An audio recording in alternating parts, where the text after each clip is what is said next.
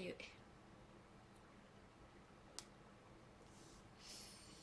今年もどうぞよろしくお願いします。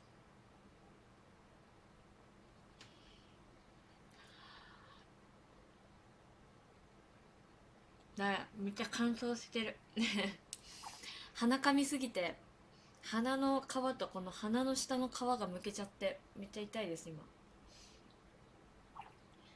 皆様新年明けましておめでとうございます。何このギフトかわいい。え大吉大吉大吉大吉。え大声出しちゃった。大声出しちゃった。ごめん。これ何？大吉確定なんですか？大吉確定演出おみくじなんですか？これは。それともガチで私の運が良かったってやつ？私まだまだっていうかまあ行く予定ないんですけどあれやってないんで何でしたっけ？なんだこれか確定演出大吉か。まあ行くまだっていうか行く予定はないんですけど初詣行ってないしおみくじ引いてないから今年初おみくじですこれこの大吉が。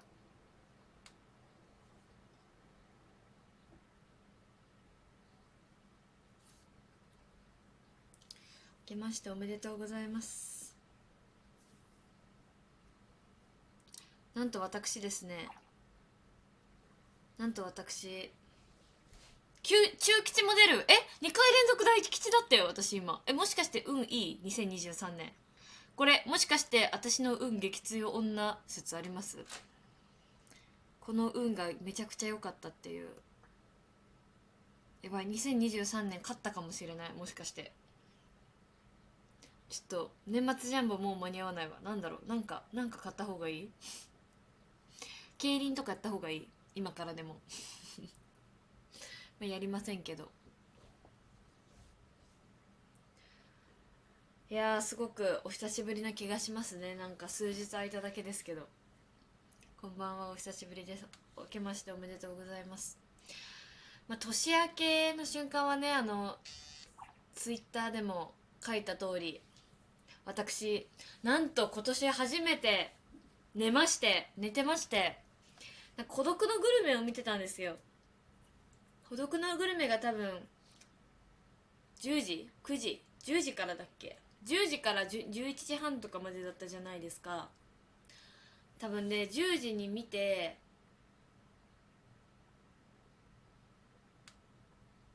なんかジェラート食べてジェラート食べた後どこ行ったんでしたっけ？あ焼肉焼肉焼肉行って焼肉食べたぐらいで寝た気がする多分。焼肉食べ終わったくらいであ中吉になっちゃった。そう焼肉食べ終わったくらいで多分寝落ちしました私。そこまでは覚えてる。あ大吉。そう寝落ちして多分焼肉食べ終わったくらいで寝落ちしてで次に目を覚ました時は1時58分でした。何これ？来る？あ行く年来る年ってこと？もしかしてこれ。来る？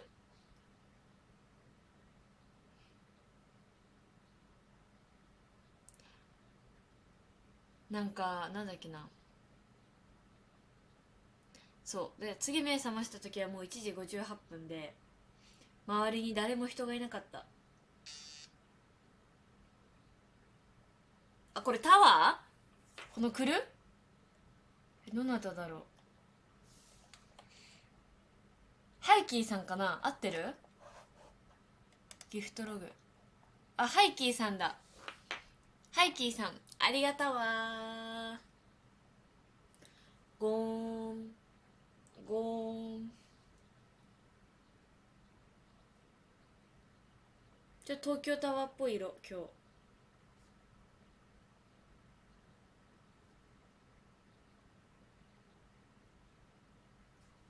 あお年玉？お年玉ありがとうございます。お年玉もうもらえない年なので嬉しいです。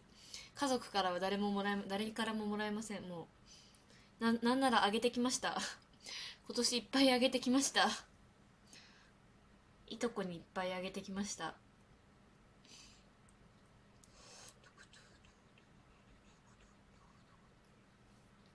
もうあげる年になっちゃったよお年玉を。悲しいね。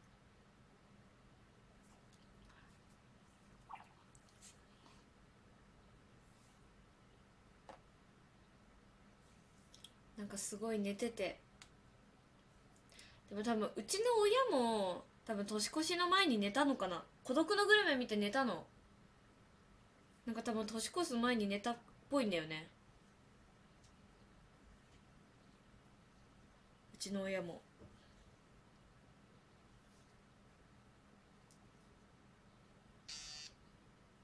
やっぱ寝たんだ。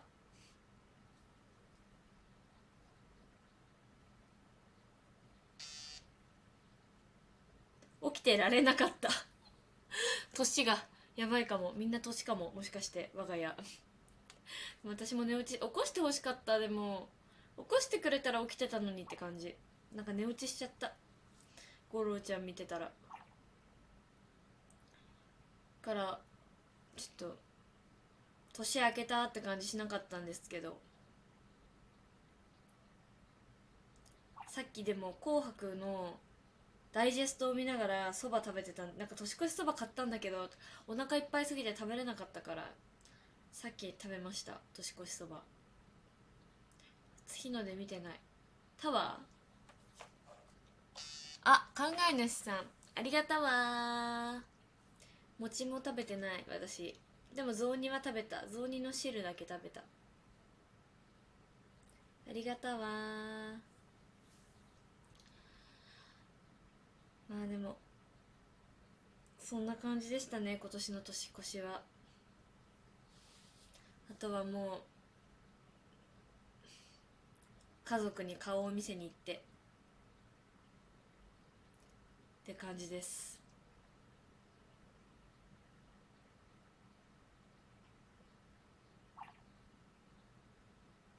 今年はでもそのすっごいすごいなんて言うんでしたっけ？こういうの。凱旋ツアー。凱旋してきてすごい。各都市さまざまな都市に行って顔を見せに行った。なんかやっぱコロナ禍だったじゃないですか。コロナ禍やっぱ仕事があったのでやっぱ割と年末年始。なかなかやっぱお顔をね見せられてなかったんですけど久しぶりに全員に顔を見せに行きました。おばあちゃん親戚。親戚？おばあちゃんに。はい。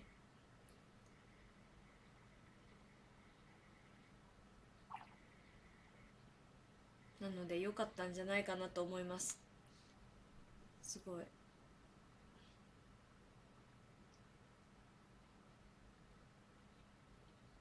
でもいとこちゃんとあ久しぶりなんかなんか久しぶりっていうかコロナ前に一回東京に来てくれて東京で遊んででラストコンサートも来てくれたんですけどあまりにも私が朝忙しすぎてラストコンサートの時。もう朝30秒だけ会うみたいな。私がラストコンサート行く前だからマジで朝6時とかに30秒間だけ会って「あ来てくれてありがとうバイバイ!」って言って帰るっていう最悪なね。え今日とかあんの？最悪怖っ。今日とか引いちゃうの？これ。怖い。怖い怖い怖い。成仏させよう成仏。どうやって成仏させるのか分かんないけど。でもそうですね。なんか久々にだからいとこちゃんともゆっくり会えて。なんかすっごい大きくなっててもうだから。なんか私がちゃんとこの間会ったのが多分コロナ前だから2018年とか。19年とかだったんですよ。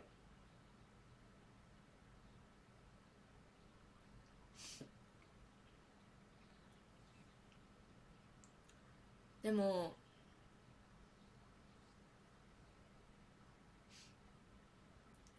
そっからもう多分45年前か。多分45年前に会っててすっごい大きくなっててびっくりした。めちゃくちゃやっぱ子供の成長って早いなって思いましたね。そう髪なんか本当はだから朝もうちょっと10分くらい会えたらって感じだったんだけども私がもう2時まで夜中2時まで髪切ってたのとあと朝のやっぱそのコンサート前ってバタバタしてるからこう支度が。これ持ってあれ持ってみたいな。なんとか準備してみたいな。なんかむくみ取るために湯船だけバッて入ってみたいな。すごい。じゃバタバタしてるからやっぱ。時間がなさすぎて。であれしかも夜中までだったじゃないですか。だからもう会えなくて。なんかほんと30秒くらいパッて見ただけだったから。すごい。なんか私的にはその時会った感覚があんまりなくて。久々に会ったらめっちゃ大きくなっててびっくりしました。お姉さんになってましたねもう。でもなんかいとこちゃんのお友達と一緒に3対1で百人種取りました。年末まだまだ年明けてなかったけど。年末に。3対1で百人種取って3枚差で負けた。3枚差で負けました多分。でも80枚くらいしか覚えてなかったかも。なんかもうね分かんなかった。なんか下の句見ても上の句が出てこなくて。20枚くらいは。ちょっとダメでしたね。なんかその80枚のうちのなんか多分40枚くらいも本当にこれで合ってるっけ？みたいな。いや嘘。560枚くらい。560枚くらいもあれ本当にこれで合ってるっけ？みたいな札ばっかですごい不安不安を抱えながら撮った、うん、でも久々にカルタして楽しかったです。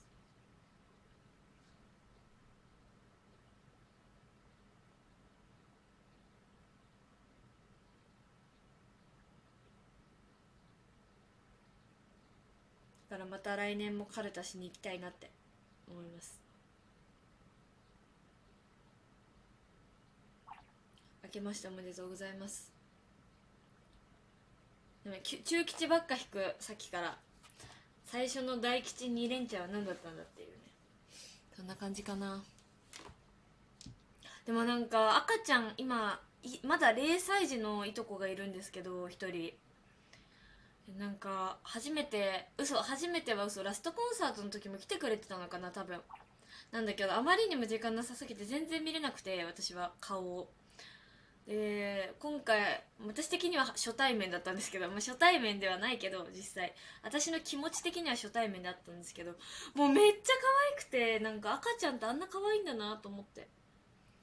特になんか色素が薄いみたいでなんかすごいなんか眉毛とか髪の毛とか全部ふわふわでなんかこう薄くてあの色が薄くてなんかなんて言うんだろう本当赤ちゃんモデルみたいな赤ちゃんで。すごい可愛かった。赤ちゃん可愛いと思って。めっちゃ握ってもらいました。こうやってやって。こうやってやって。こうやってやって握ってもらった。キュッて。めっちゃ握ってって言ってこうやって出して。キュッてしてもらいました。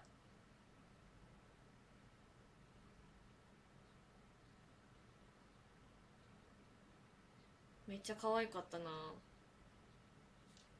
なんかだからめっちゃ可愛すぎてなんか刺激を受けて刺激を受けてかが合ってるのか分かんないんですけどあの自分の0歳ぐらいの写真も頑張って探したの。でも私なんかめっちゃ男で 私の0歳児くらいなんかもうめっちゃなんかまずでおデブだしもうめっちゃおデブなの私多分。ちっちゃい頃。おデブだしなんか髪がなんか肌はめっちゃ白いんですけど髪が黒いからなんかすっごい男でなんか男の子かなみたいな。なんかピンクの服着てたら女の子ってギリわかるんですけどなんか服がなんか黄色とかの服着ちゃうともう男の子で写真見返してたらなんか悲しくなっちゃった。私ってこんな可愛くなかったんだなって思って。私ってこんな0歳児の頃からこんななんか0歳児ってだって顔がなんかそのいとこのお母さん曰く0歳児は顔が2パターンしかないらしくて。だからすごいそのいとこちゃんズがみんな顔似てるなって赤ちゃんの頃の顔みんな似てるねみたいな話したんですけどお母さん曰くいや0歳児なんて顔2種類しかないよみたいな言っててあそんなもんなのかなと思ってたんですけど私は3種類目の顔だったかも。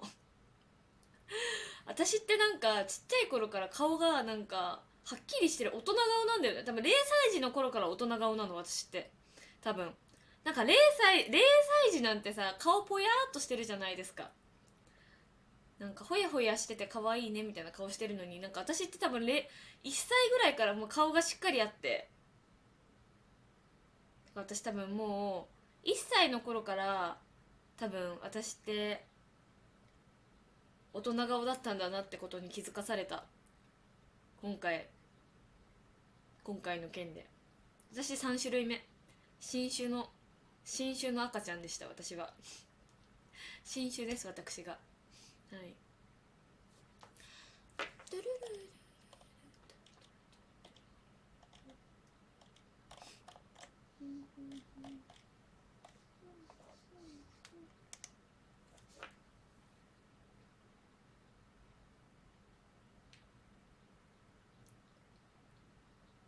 いや私はなんか顔がねはっきりしてるというかはっきりしてるとか言ったらこう彫りがあるみたいになるんだけど違うんだよね。なんか主張が激しいというか。すごい。なんか男顔なんだろうなきっと。って思った。赤ちゃんの頃の写真を見て。えでもなんか私なんか黒い髪だからその赤ちゃんあのいとこの赤ちゃん見て色素薄い髪に憧れたからちょっと染めるのもありかなって今思ってきた。なんか私ってやっぱ黒髪だなって思って。アッシュアッシュ系の色入れようかなついにやっぱなんか色髪色薄い方が可愛いかもって赤ちゃんを見て思ったすごいえでもなんか顔がうるさいって言ったら可愛く思えるじゃん可愛くないのよ顔がうるさい顔が顔も別にうるさくないのなんて言うんだろうねなんかパーツが大人可愛くないんだよね。なんか可愛くなくて泣いちゃった。あ私赤ちゃんの頃可愛くないじゃんと思って。悲しくなった。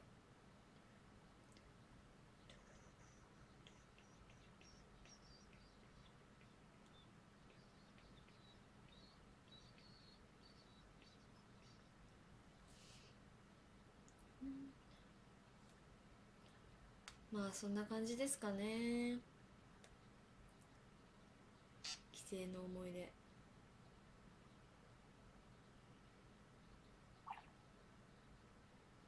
ああと今年は初めて生まれて初めて一人で雪かきしたんですけどなんか雪かきの勝手が分からなくて途中で諦めた。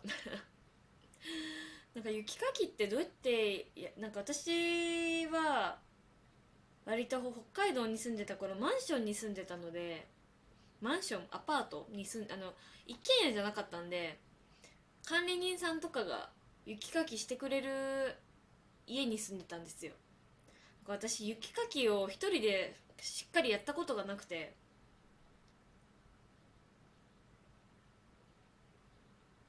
で今年は一人で初めて雪かきをしたんですけどなんかいつも毎年おじいちゃんが一軒家の前のこう雪積もっててなんかこう道路が道路があって家があったらなんかここに雪が積もってたらなんかここなんかこ入り口のとこ跳ねてだとここになんか通路なんか雪と雪の間にこう人が通る通路を作って跳ねるんですけどなんかその通路の作り方が分からなくてこの道路側を跳ねちゃった結局。分かんなかったから。まあいっかと思って。多分ねなんか除雪車とか通んないくらいの田舎だからなんか除雪車とかがいるんだったら多分こう道路側に雪を跳ねなきゃダメなんですけどでも道路に出しちゃうと法律違反みたいになるからなんか難しいですよねあれって。分かんないからなんか適当に跳ねちゃった。学校とかでもない雪かき。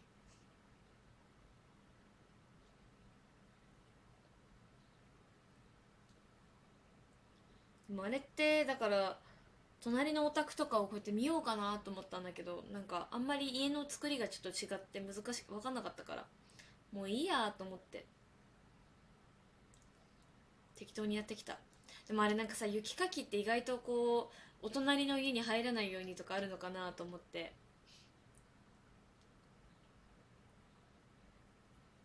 なんか怖いなと思った。あれで明日とかにおじいちゃんが怒られてたらどうしようと思って。私が跳ねたせいで。うちの家に入ってるんですけどみたいな。怒られてたらどうしよう。まあ大丈夫だろうと信じて。でもやっぱり思ったのは東京の方が寒い。北海道の寒さってなんかこう外に出たらキーンって冷えなんか冷たいんですよ。もうとにかく冷たくてほっぺとかがもうめっちゃ冷たくなるの。なんかこうやって触ってるとめっちゃ気持ちいいなって。あひんやりして気持ちいいみたいな。耳とかもめっちゃひんやりするのよ。気持ちいいなみたいな。ひんやりして気持ちいいみたいな。でもなんか赤くなるほっぺが赤くなる系の。だから写真で盛れる系の写真で漏れる系の冷たさなんですけどなんか東京ってほんと隙間風が一生吹いてるみたいな感じの寒さしない？なんか銭湯上がった後に一生あのー扇風機が直撃してるみたいな寒さ東京ってって思った。凍える。凍えるというか震える？震える寒さって思った。東京の方が。ビル風かな？やっぱでも札幌も寒いんだよね。ビルビル多いから。おばあちゃんちは冷たいみたいな。気もなんか寒いけど冷たくて気持ちいいみたいな。なんかだからこう顔が白くなってほっぺとか血があるとこだけ赤くなるみたいな。こうなんて言うんでしたっけああいうのって。縛れる。なんなんだろう。そういう系の冷たさなんですけど。なんか東京とか札幌とかビル風系の寒さってマジで寒い。なんかガタガタなる。寒さ。えでも本当に札幌じゃなかった。おばあちゃん家の雪めっちゃ綺麗だった。なんかもう綺麗すぎる雪が。マジで。顔とかボロボロだったけど写真とか撮ったら絶対漏れるんだろうなみたいな。なんか結構降ってたんですけど雪も。マジで雪がサラサラでパウダースノーって感じだから本当になんか写真で盛れる系の。写真が盛れるしもうなんかこう綺麗綺麗って感じの雪ですごいなんか懐かしくなった。あこうだったなみたいな。なんかでもこれなんか本当に高校生くらいまでこの感覚が本当に分かんなかったんです。なんか雪は雪じゃんみたいな。でもなんか22歳になってようやくあこれがなんかこう地元に対する懐かしいみたいな思いなんだなって雪に対してこんな思いを持つとはって思った。なんか22歳になってようやく雪の違いが分かるようになったかももしかして。なんかあ懐かしいこの景色って思った。なんか毎年行ってたからかな。コロナで行かなくなっちゃったからかな。それはあるかもしれない。久しぶりに。あタワー。クラウンさん。あありがとうございます。何タワーだろうこれ。ありがたわこれなんて言うんですかね。熊手？熊手じゃないか。屏風？これ何ですか？飾り物。飾り物タワーありがとうございます。って感じ。でした。あとああと札幌にも行ったんですけどパセオが潰れててびっくりしちゃったね。鼻水出る。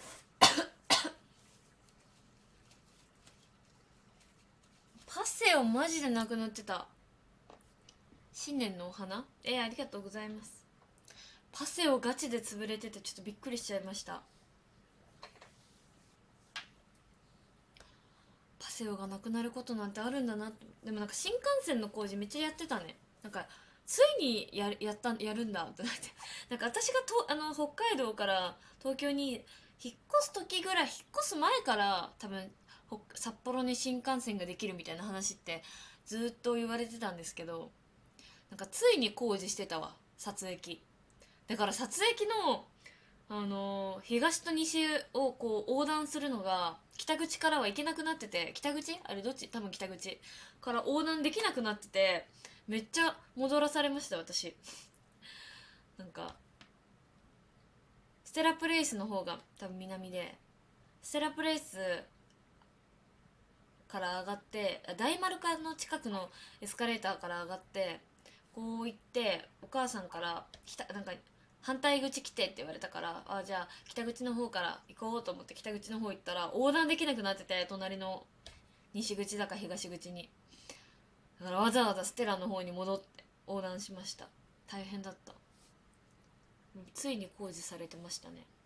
でもなんかステラプレイスも全然変わっちゃっててなんか私が知ってる店なんか全然なくなってた。いや全然なくなってたは嘘だけど。なんかステラクーヘンっていうプロント？なんだっけあそこ。違うな。あれだ。神戸の。神戸の。なんだっけ？神戸の。神戸のカフェ。モロゾフモロゾフ。モロゾフのカフェがあったんですけどステラの地下に。でモロゾフのカフェのテイクアウトコーナーにステラクーヘンっていうなんかバームクーヘンをもっと甘くしたみたいなやつが。バームクーヘンは嘘。なんだろうあれなんか。フィナンシェ。甘くしたみたいな。やつが売っててそれが好きでよく買って帰ってたんですけど札幌行ったら。ステラクーヘン買えなかった。なんか潰れてました。悲しい。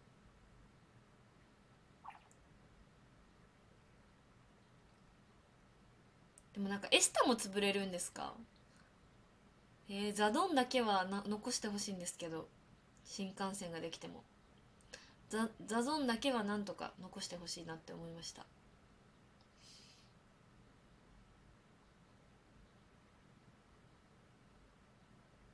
なんかでも札幌が本当にでもなんかちっちゃい頃ってなんか街並みとか全然ちゃんと覚えてないしなんかなめなビルの名前とか覚えれないから全然覚えてなかったんだけどなんか久々にこう行ったら「わー!」みたいな「懐かしい!」みたいなとこの東急のここのバス停でよくバス乗ってたみたいななんか習い事ダンスの習い事行く時このバス乗って帰ってきてたなーみたいな。地下通路できるまではこのバスで帰ってたなーみたいな。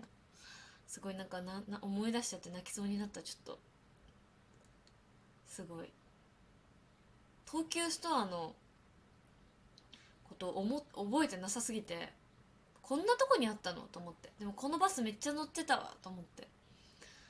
東急ストアの地下でお酢ドリンク飲んでて。すごい懐かしかったですね。でも東急ストアで死ぬほど子供服を買ってたし死ぬほどお肉だか魚を食べる時はそこで買ってたらしいんですけど全然覚えてないんでそのお酢のドリンクを飲んでたこととバスに乗ってたことだけは覚えてたんですけどそこで肉だかや魚だかを買ってたことと子供服をそこに買いに行ってたことは覚えてなかった。かゆっ。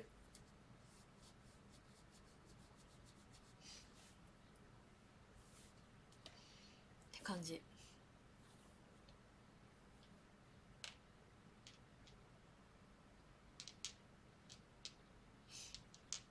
こんばんは。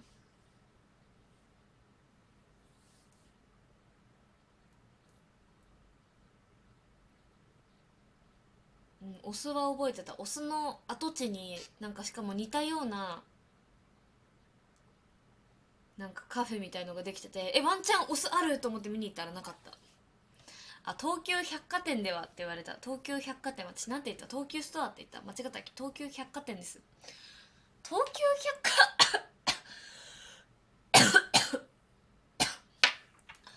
東急百貨店ってさ東京にないある？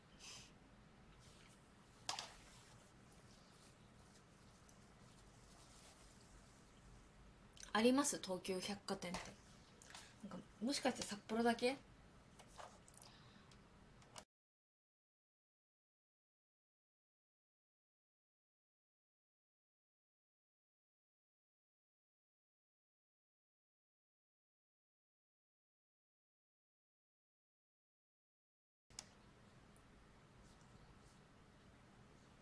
東急百貨店東京にもある。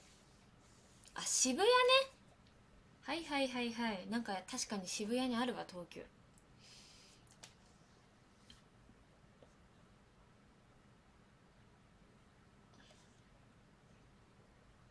えおみくじ引きに行ったの？いいじゃん。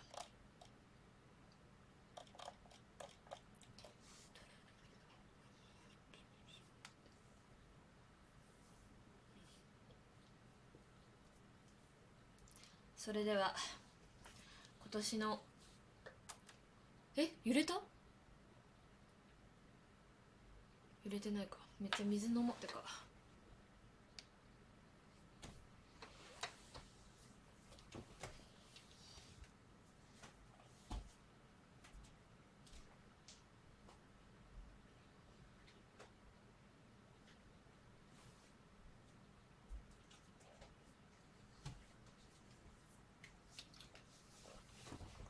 私今年。失礼いたしました。私今年買いました福袋は。えっ、とお洋服が4個買ってて1個店頭に取りに行かなきゃいけなくてまだ取りに行ってなくて3つ郵送で1個届いて2つはまだ届いてないっていう。でも1個韓国通販系のやつなんだよね多分。でさ届くか不安なんだよねすごい今。まあなんでとりあえず4個中1個は届いててあと私化粧品の福袋1個買いました。のというのとあと父親が秋葉原に行って買った福袋が何個あるんだろう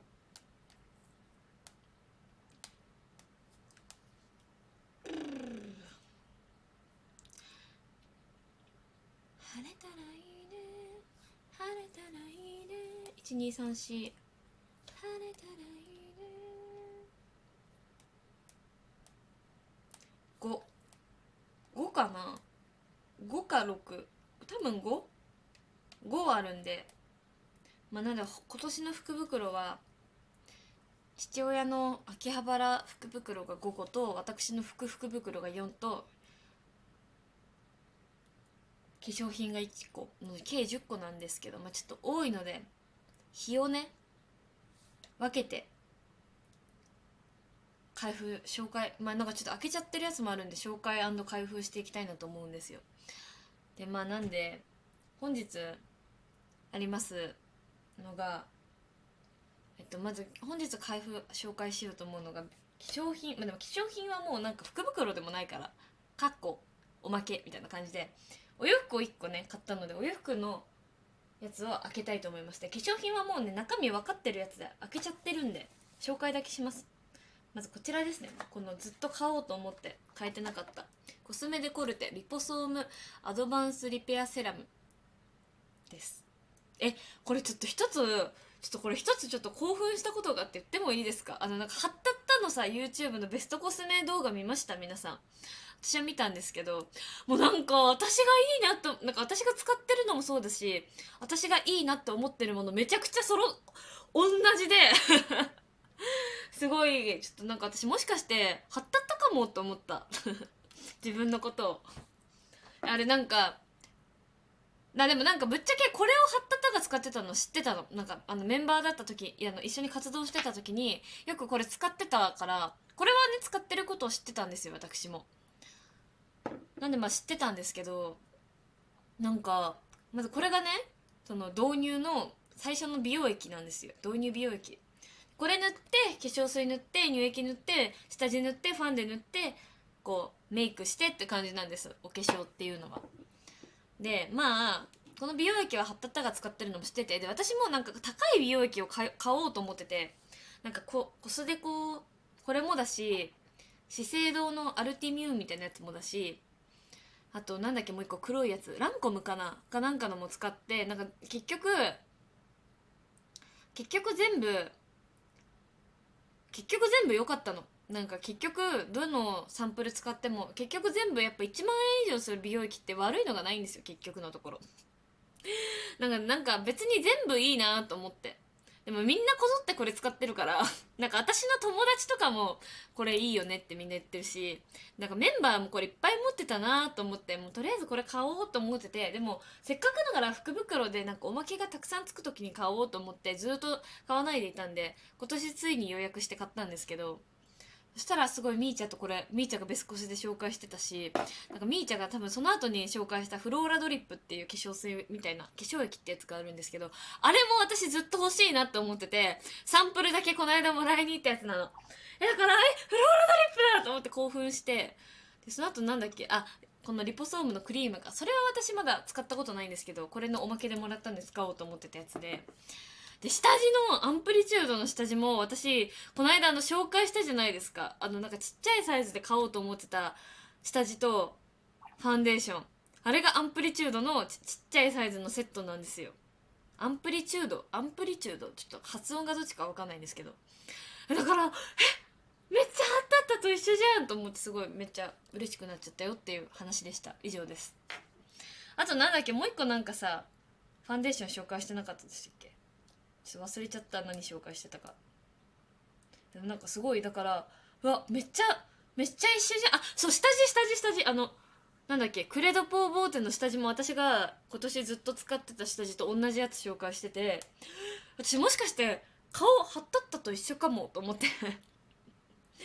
まあ私まだこれ今日昨日？違う4日前くらい3日前くらいに買ったからまだ今日初めて使ったんですけどでもちょっとこの寄生虫スキンケアを何もしなかった。なんなら洗顔もしなかったからちょっと肌がボロボロになっちゃってなんかこれを使ったところでなんか変化とかは感じなかった。もう肌がボロボロすぎて修復するところからなのでめっちゃいいとかじゃなかった。なんかこれでもとにかく早く修復してほしいなという気持ちで今日は大胆に使いましたいっぱい。あそうグローライザーも私この間買ったの。コスデコのグローライザーもこの間買ったからえ一緒だと思って。なんかちょっとグローライザーはなんかちょっとまあ私的にめっちゃベスコスってわけではなかったかなって感じ。いやそうなの。グローライザーだからベースメイクほとんど一緒だった。アイメイクはあのメイク用品は全然違うんですけどマスカラとか。あでもミルクタッチのマスカラ私も持ってるわ。マスカラとかアイシャドウとかは全然違うんですけどベースメイクが一緒すぎてすごいもしかして私貼ったったかもってそう興奮しちゃいました今日。YouTube を見て。はい。そうまあでこれでこれはねでも 50mm かな。多分。50mm のやつをそのまま買いました。もこれはなんか普通にそのままのお値段でこれの定価で買うんですよ。福袋ってよりかはおまけがつくよって感じで。なんかこれを買うとまずこのさっきも言ったこの同じねリポソームっていうシリーズのクリームのミニサイズ 6g バージョンがもらえるよっていう開かない開かないから諦めました、まあ、クリームのミニサイズこんくらいちっちゃいやつをもらったよっていうのとなんかこの巾着に入ったこのシリーズの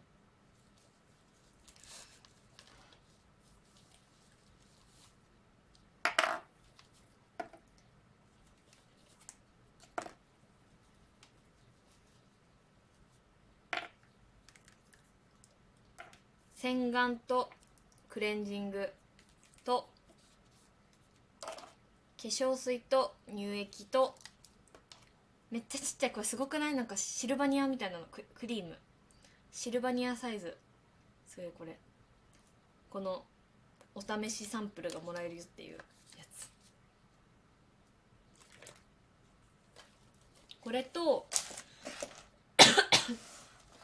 あとこのコットン。と謎の箱ティッシュ。謎の箱ティッシュもらいました。これがおまけでついてくるよっていうやつでした。まあでもついにねこれ買い美容高い美容液を買ったので肌の治安が良くなってくれると信じて、まあ、最近ね本当にそう謎すぎるよね。箱ティッシュしかもね書いてなかったと思うんだよねなんか。買う時は。謎の箱ティッシュでも開けられないよこれ。でも「M ステ」ティッシュと同じ運命これ。でもなんか多分ゆなんか買う時になんかでもすっごいなんか怪しい格好で行っちゃってなんかちょっとカクカクしかじかってすごい怪しい人の格好で行っちゃってこれ買いに行く時。だからもう本当になんか申し訳なさすぎてこんな格好でデパコス買いに来るの申し訳なさすぎてなんかもう買う時もなんかお姉さんもちょっとドン引き「え本当に?」みたいな感じでドン引きされながらてやってくださってなんかそれで「他に気になる商品とかありますかね?」みたいな言われたんだけどもうなんか申し訳なさすぎて「あのあいや大丈夫ですみたいに言っちゃったけどなんか普通に冷静に1万1万2000円ぐらいする1万3000円くらいするやつ買ったからなんかもうなんかファンデーションのサンプルとかつけてもらったらよかったなと思って。悔しがってるけどまあそもそものサンプルがたくさんついてるからいっかと思って。諦めました。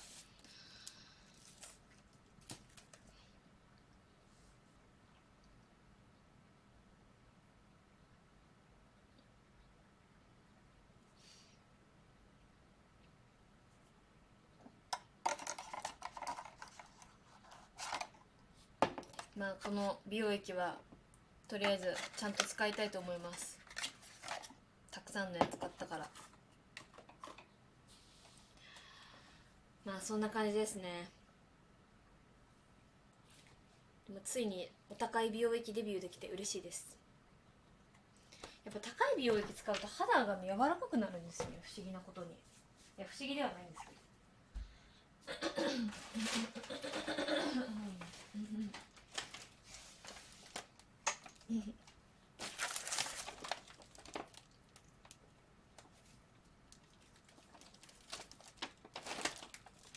そしてですね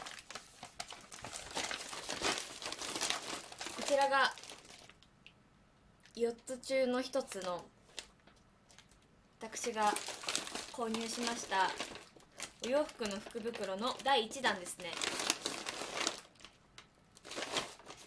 これはどこの福袋かというと BANK って書いてバンクっていうなんかセレクトショップとかなんかお洋服屋さんがたくさんこう集まってるなんていうんですかそれをセレクトショップっていうのかなもしかしたら。ちょっとよく分かってないんですけど、まあ、なんかそのなんか何個かお洋服屋さんが集まってるとこの福袋です。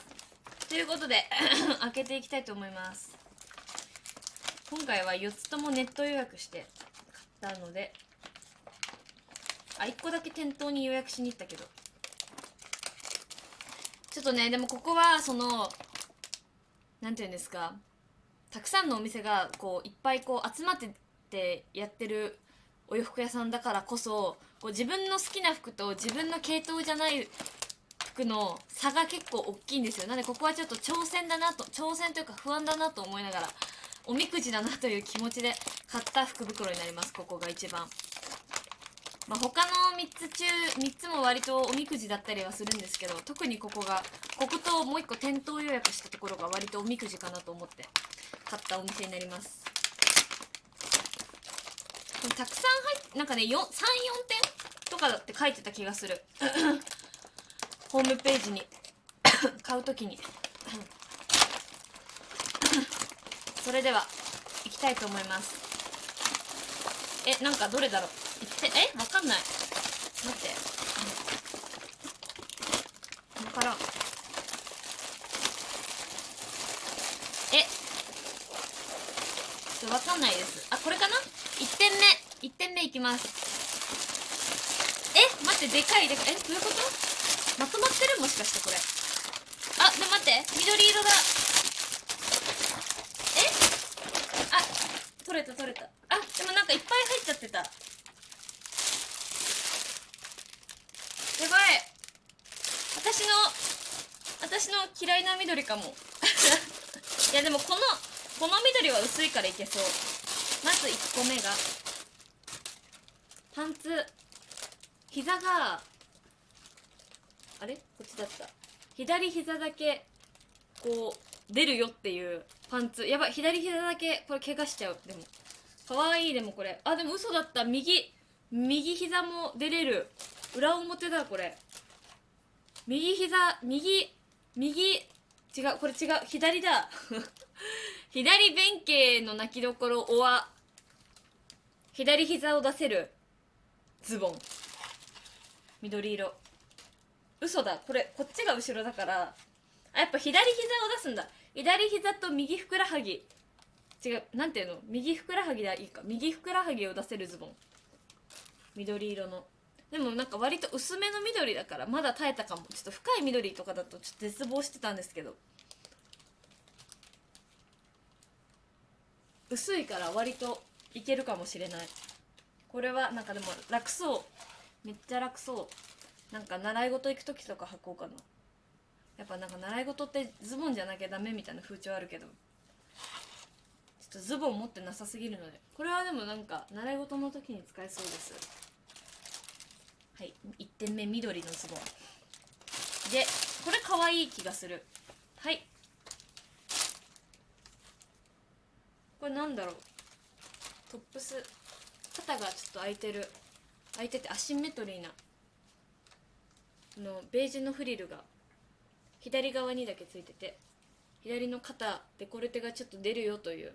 えかわいい。これ普通に使いやすそう。でもちょっと生地薄めなんで夏物ですねめちゃくちゃ。かわいい。これはいいですね。でもこれとこれで合わせろよってことなんでしょうねきっと。これとこれで合わせてじゃあいきたいと思います。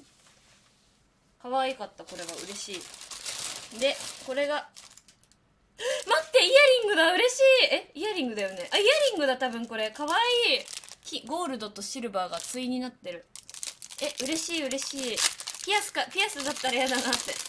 思ったんですけど。あ可愛いかも。え？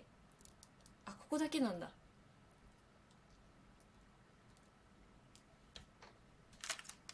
えでもこれシルバーとゴールドなの？なんかおしゃれですよね。すごい。こういうのって大体シルバーシルバーとかゴールドゴールドじゃないですか。こういうデザインがあっても。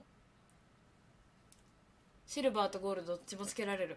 えこれでさパーソナル診断ができんじゃない？どっちの顔の方が漏れてるかみたいな。シルバーとゴールドつけて。どっちもシルバーに見えるわここで見ると。今度これつけて友達に診断してもらおうかな。どっちが可愛いかな。私左の方が顔多分整ってるんだよね。利き顔的に。ちなみにこっちがシルバーでこっちがゴールドですね。これ可愛いですね普通に。ちょっと大人っぽいすごい。可愛いですこれは。え嬉しいかも。これ可愛いですね。てかイヤリングだったことが何よりも嬉しい。こういうの大抵ね福袋のこういうおしゃれブランドのイヤリング基本的に全部ピアスなんで、はい、いつもねこうピアスピアスをイヤリングにする変える機械を買って無理やりつけるんですけどやっぱりピアスの方が可愛いよなみたいな。思うっていう。可愛いこれ。ちょっと大人っぽい服の時にいいですね。でもちょっとこれなんか痛いかも。なんかすっごいすっごい強力強力なんでねわかるかな？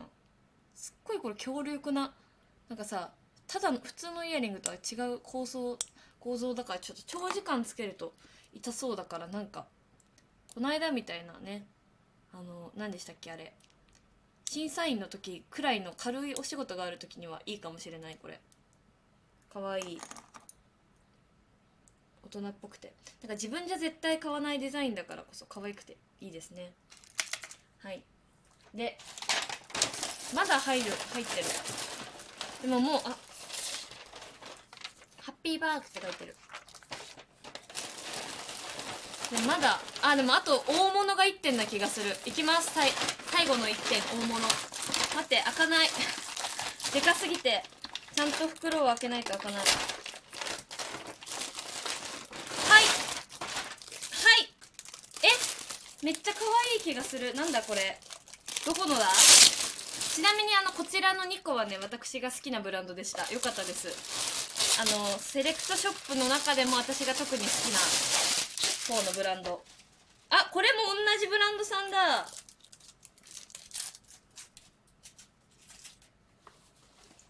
えなんか可愛い気がする。あでもめっちゃ短いんだけど。えこんな短いことあるってぐらい短いんだけど。大丈夫これ。大丈夫そう？すごいデニムのブラックのデニムのワンピース。えめっちゃ今今の時期着れそうだけどあまりにもスカート短い気がする。大丈夫？まあ差し子丈よりかは短くないけど言うても短いぞという感じ。でも可愛いですねこれ。今の時期でも着れそう。厚手なのでめちゃくちゃ。可愛い。えでもなんか全然可愛かったわ。そう多分超ミミニ丈ワンピース。めっちゃ短い。めっちゃ顔白飛びしてるそして。そう刺し子丈はもうあまりにもパンツすぎて もうスカートじゃないよシャスあの刺し子丈は。恋虎に比べたら長いといえどもこれは階段とか歩いたら一発で中が見えてしまう系の丈。アウターじゃないよ。ワンピースワンピース。なんかこれに多分ファーベストとかを羽織るんだと思うけど今年の流行り的には。ちょっともうファーベスト1枚じゃ寒いのでなんかモコモコのアウターとか着るかな。可愛いです。なんかでも意外と使いやすい服ばっかでよかった。なんかもうもっとぶっ飛んでる服とか来るかなと思ってて。割とぶっ飛んでる服とかも売ってるお店なので。まあ可愛かったです。嬉しい。しかも好きなブランドでした。なんかどれも、まあ、このワンピースがちょっとミニ丈すぎて着るかわかんないんですけどこれは普通にめっちゃ重宝しそうだしこれも多分楽ちんだから着そう。こういうズボン楽ちんだから履いちゃうよね。すごい。でも絶対さ会う人会う人にさ会う人会う人にさ「膝どうしたの?」って言われるよね。左膝どうしたのって言われそう。かわいい。えー、嬉しいかも。なんか割といい良かった気がする。この調子であとの3つの福袋もいいことを願おう。でもちゃんと4点でしたね。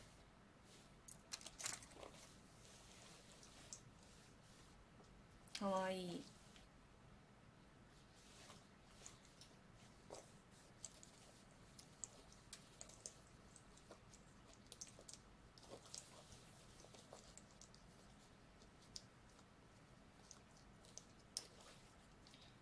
なんか私ロングブーツ買ったのにさロングブーツのチャックさすぐ壊れてさでもさ今回の帰省でロングブーツを履きたかったからさ無理やりニッパー持って行ってさ飛行機であの新幹線で直そうと思ってニッパー持って行って新幹線で頑張ったのに直んなくて旅行先でブーツ買うっていう。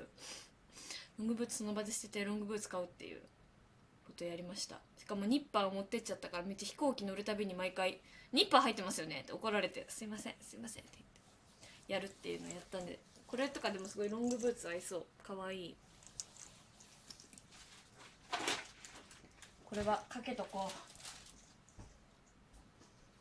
う。よいしょ。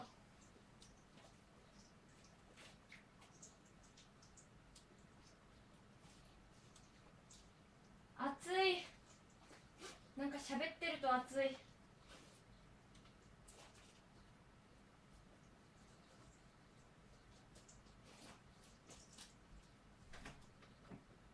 どうこれ？丈短い。かわいい。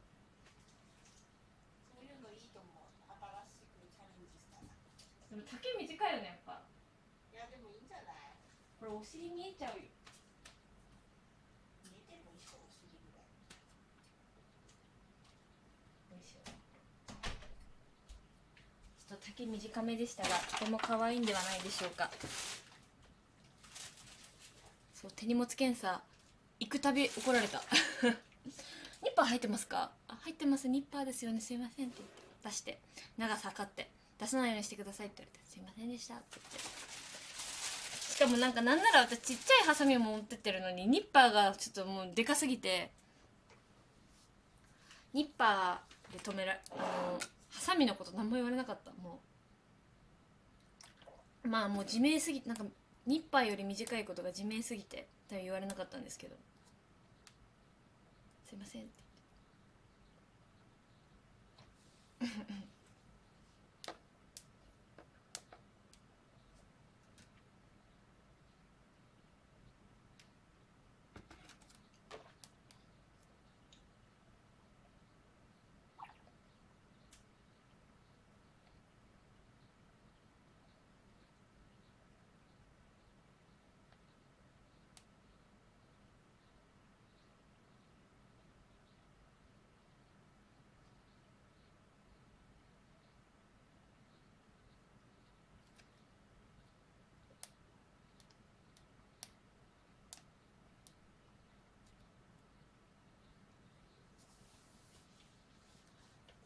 なんかでも思うのはさなんか飛行機のさ飲み物検査ってさどうしてもないないといけないのはわかるけどさなんかあれがなかったらもっと多分飛行機入る前の売店も飲み物売れるんだろうなと思うとかななんか悲しくなっちゃうよね。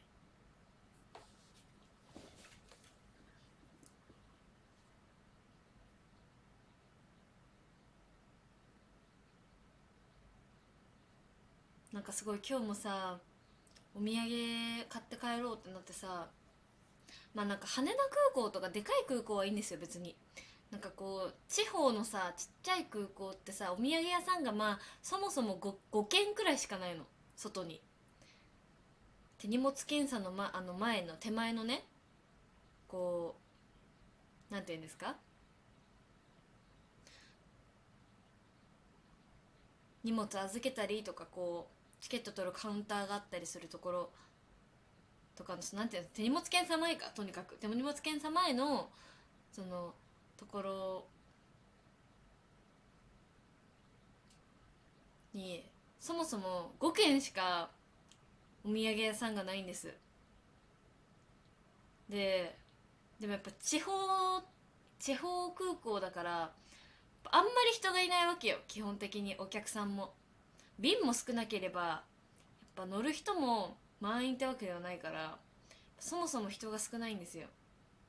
それで5軒しかないんだけどなんかやっぱ手前なんかこうね作りがこうなんていうんですかね、まあ、5軒は嘘だった。ちょっと8軒くらいはあるかも。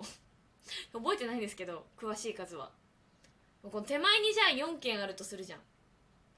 手前に4軒あってなんかこう例えばじゃあ手荷物検査場がこっち側にあってお土産コーナーって。あって12345678みたいな感じであるのよ。そしたらこの手前側ばっかやっぱ売れちゃってて。なんか奥のお土産屋さんって本当いつ見てもなんかあんまり繁盛してない感じがあって。だからうわ今日絶対向こう奥側で買おうと思ったのに今日に限ってなんかいつもはロイズとか買うから奥でも売ってるから絶対奥で買おうって思ってたのに今日に限ってなんかこの間楽天セールで割れチョコ頼んじゃったからチョコいらないなと思ってバスクチーズケーキ買ってこうと思ってバスクチーあの龍月のバスクチーズケーキが食べたくてバスクチーズケーキ買おうとしたらなんか龍月のバスクチーズケーキは手前側のお土産屋にしかなくて奥側のお土産屋にもバスクチーズケーキは売ってたんだけどなんかよくわからない知らないお店だったの。でまあ同じ値段だったから、まあ、そっちでもいいかなと思ったんだけどやっぱり龍月のバスチーを一回食べてみたいなと思って。手前側でバスチーを買ってしまったよね。しかもお母さんがそれに合わせて手前側で白い恋人も一緒に買ったからマジで奥側に還元せずに帰ってしまった。奥のお土産屋さんに。申し訳ない。絶対次行った時は奥で買うからなと思って。ごめんねって思って。申し訳なかったです。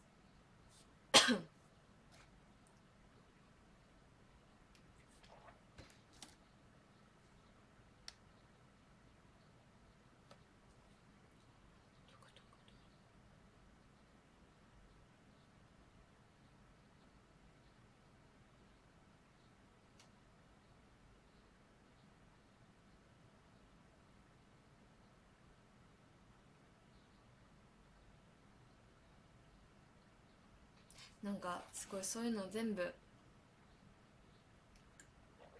悲しくなっちゃう。えなりませんか？これ。なんかあるあるかなと思ってたの。バスクチーズケーキ？切って。まず紹介して。えこれさ地方地方都市地方都市空港使用者には分かってくれません？この気持ちみんな地方都市に降り立ったことないかな空港で。でかい空港しか行ったことない。地方都市空港に行った時いつも思ってしまうんだけどこれ。はいこれがあの私が今日奥のお土産屋さんを裏切って買った。龍月のバスクチーズケーキ。ああ保冷剤が。でもこれなんかお姉ちゃんが美味しいよって昔言ってたのを覚えててずっと食べてみたかったんですよね。地方都市空港こそお土産を買って経済を回せ。羽田なんかで土産を買うな。暴論。いや羽田でも買うけど地方都市空港でも同じだけ買おうねという。そう。スクチーズケーキ。いやでも奥で買えばよかったか。奥のバスクチーズケーキ買えばよかったかなやっぱ。申し訳ないわ。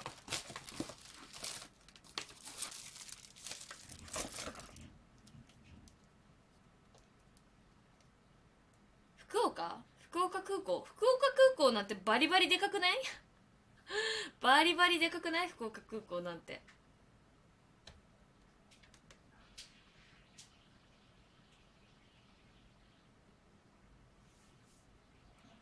あお土産屋さんない確かに。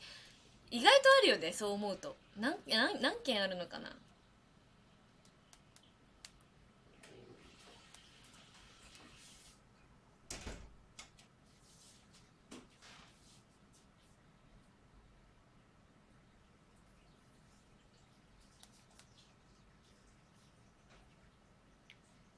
12345あ六6軒あるのかな多分。6軒あるんだわ。6軒あってそう6軒あっちゃうのよ。でそのうち3軒が手前側にあって3軒がめめっちゃ奥なんですよ。もうとにかく。だからもう大体その手前3軒を見るともう基本的に買っちゃうんだよね人っていうのは。もう疲れて。お土産屋3軒見ると疲れてみんな3軒3軒の間で買っちゃうから手前側3軒はめっちゃね売れるんですけど奥側3軒ってあんまり売られ売れてるところを見たことがなくて。マジで奥側で買ってあげればよかったと思って。バスティー。はい。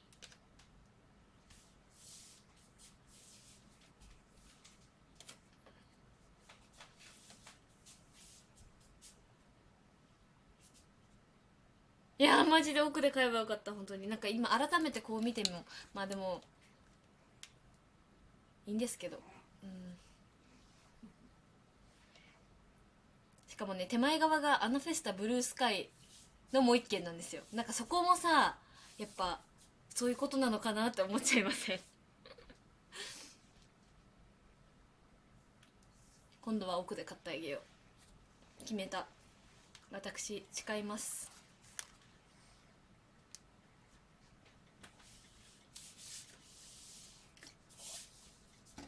お土産屋さん2軒しかなかった。あそれはでもいいね。なんか迷わず買えるね。だから6軒っていうの絶妙なんだ。しかもなんかさ右と左とかに作ってくれたらいいのにさこう縦に作るから。そこもちょっとあれなんだよな。すごい。なんであれ奥になんか縦に作っちゃったんだろうな。なんか切ないよ。やっぱ東京からさやっぱ田舎に帰るとなんかかななんかめっちゃお金使わなきゃってなる。すごい。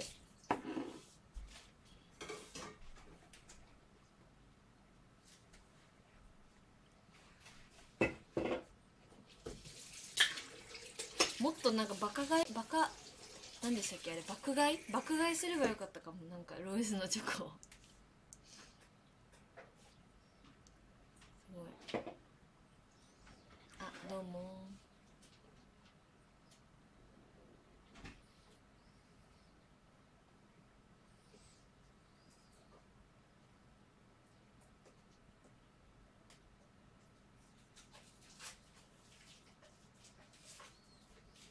なんかでもほんとさ経済を回そうとしても経済を回すものがいやあるんだろうけど、難しいわ。まあ今度は絶対奥で買おう、うん、そう決めました私。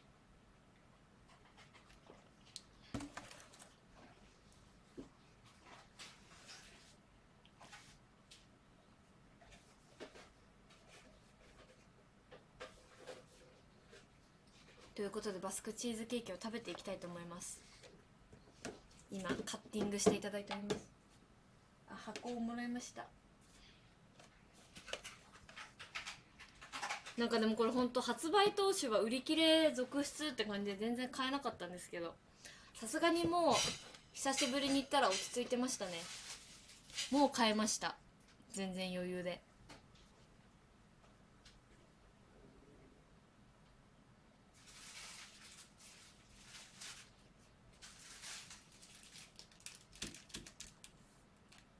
ああこれね。えこれはちなみにさ奥で買ったの？手前で買ったの？これ奥にも手前にも。手前。いや手前だよねやっぱ、うん。いやそう手前で買っちゃうんだよね人っていうのは。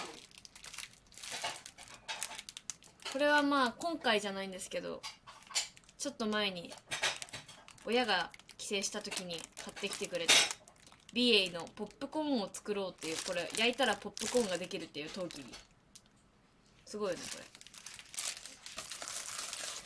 いやなんかしかもさこうちっちゃい頃は栄えてたのになって思うと本当にねすごい。悲しくなるわ。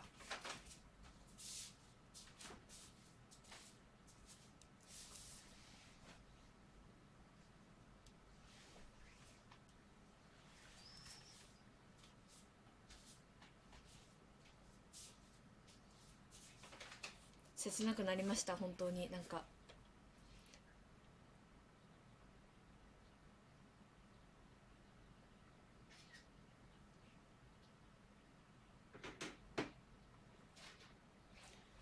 まだバスチもうなんか美味しいものを食べて幸せになろう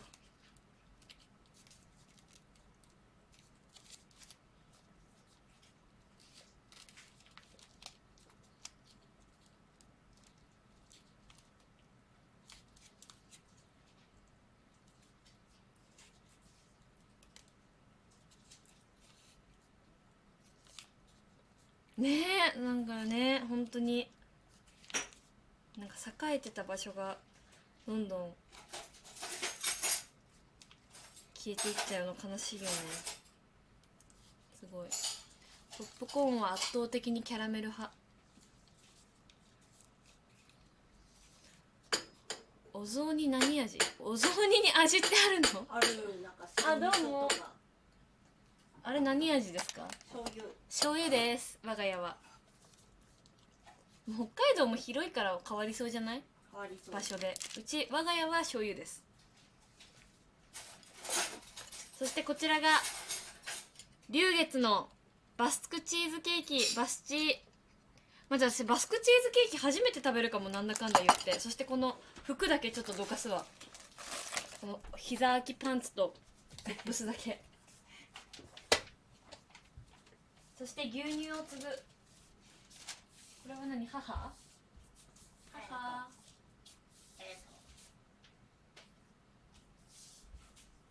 牛乳牛乳。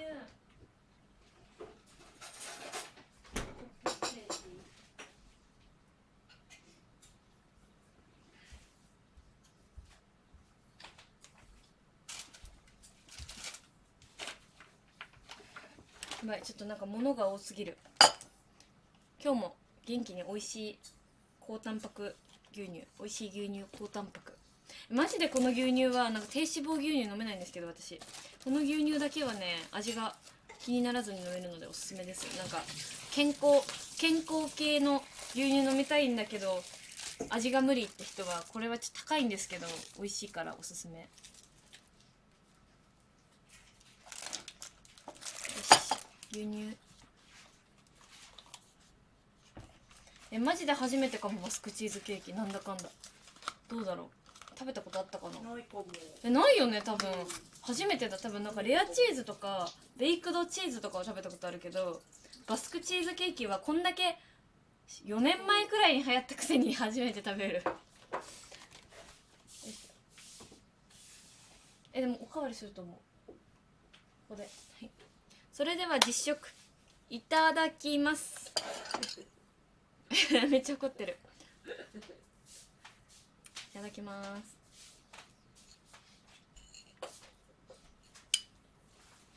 いただきます。うん。うーん。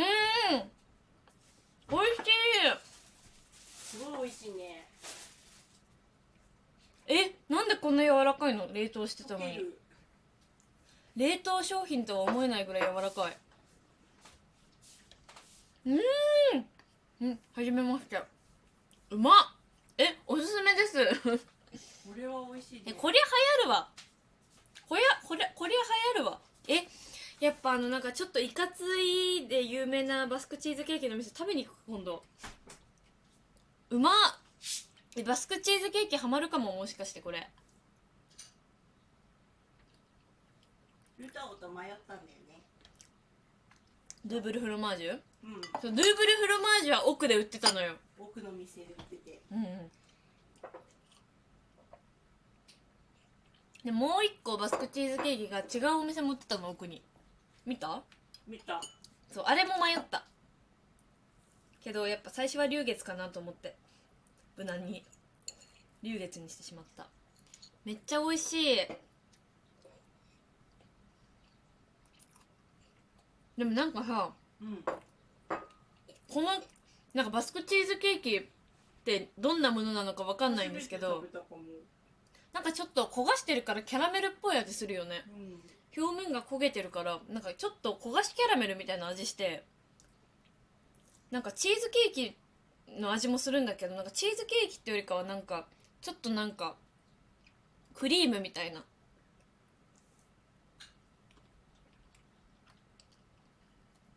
感じもする。ねこれは流行ったの分かるねうん。昔、うまいわ。これは美味しい。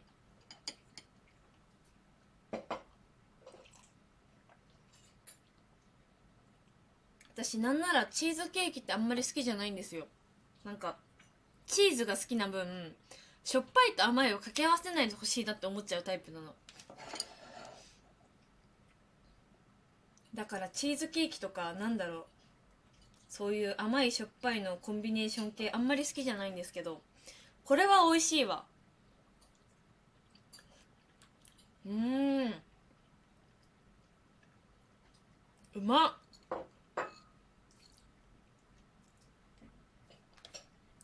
えー今度なんか有名な店食べに行こう。あるの東京にバスクなんだっけこれバスクチーズケーキか。食べに行こう。うんあるある。でもなんかありすぎるけど一個気になってるお店がある。うーん。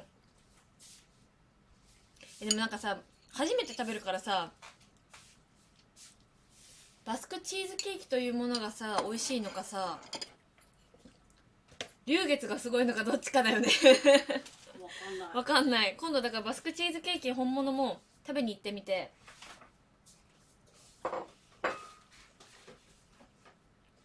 美味しかったらバスクチーズケーキが好きってことだしちょっと違うかもってなったら龍月が好きってことだよねこれ多分私は。うん、でもとにかくこれはうまいです。おすすめです。なんかかカヌレとか好きな人は好きな味な気がする。い。適当なこと言ってるこれ。全然食感は違うけど。食感が違う。食感は全く違うけども味の系統ってそっち系じゃない？これ。あチーズケーキってよりかはカヌレみたいな感じかも。ちょっと。あのこれ食感のことはガン無視してね。食感をガン無視して味の系統ね。系統で言うならばカヌレ系かも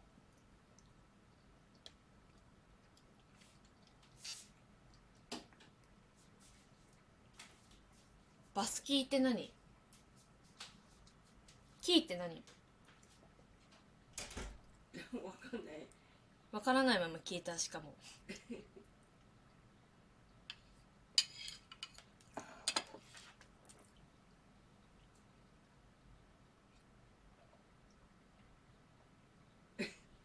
間違えただけじゃない。バスキーで調べたら楽器出てくるよ。楽器出てくるよおもろほら楽器バスキーってこんな楽器。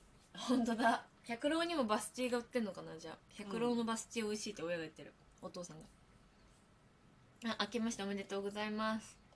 そう三宝六も美味しいけどねえねえそのそれ取ってそれ。その月月のやつ。三宝六って龍月だっけ？うん龍月。あの私の龍月の推し麺ですこちらはいい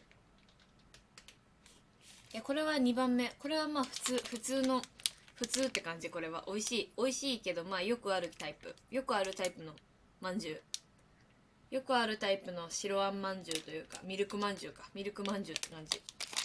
これが推し麺私の。本当だバスク100円で調べたら100円ローソンのバスクチーズか。なんだってパッケージ。えー、食べたことない今度食べてみるか。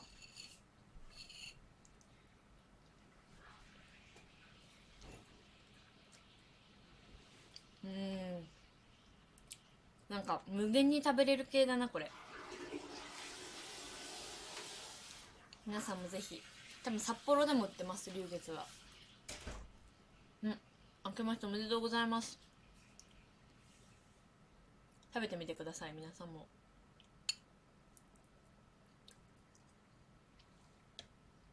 うん。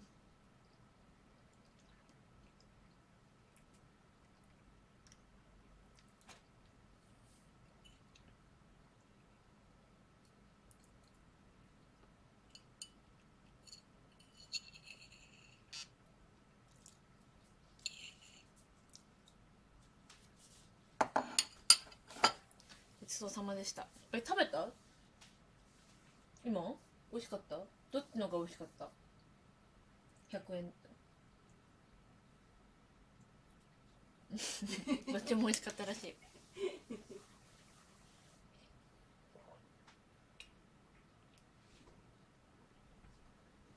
バスチーって分かったなんか結構有名になったやつだよね。なんか買おうかなと思ったんだけどお高かったえお高いよねバスチーって。え安い？100円。え100円？うんえじゃあ私が思ってるローソンのバスチーじゃないわ。バスチー。100円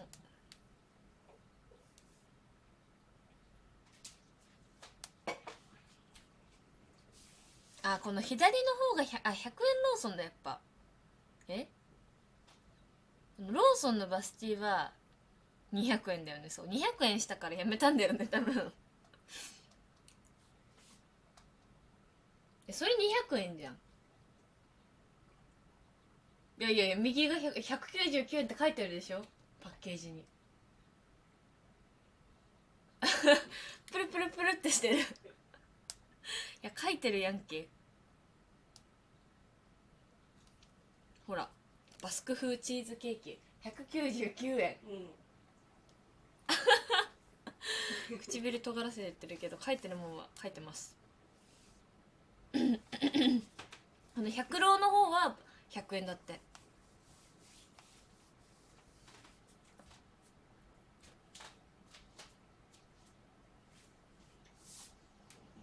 えー、美味しかった。でもほ本物のバスクチーズケーキ食べに行こう今度。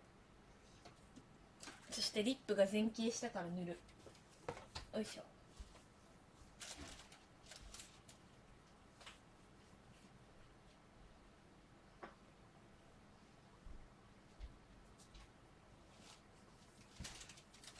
とお皿下げます。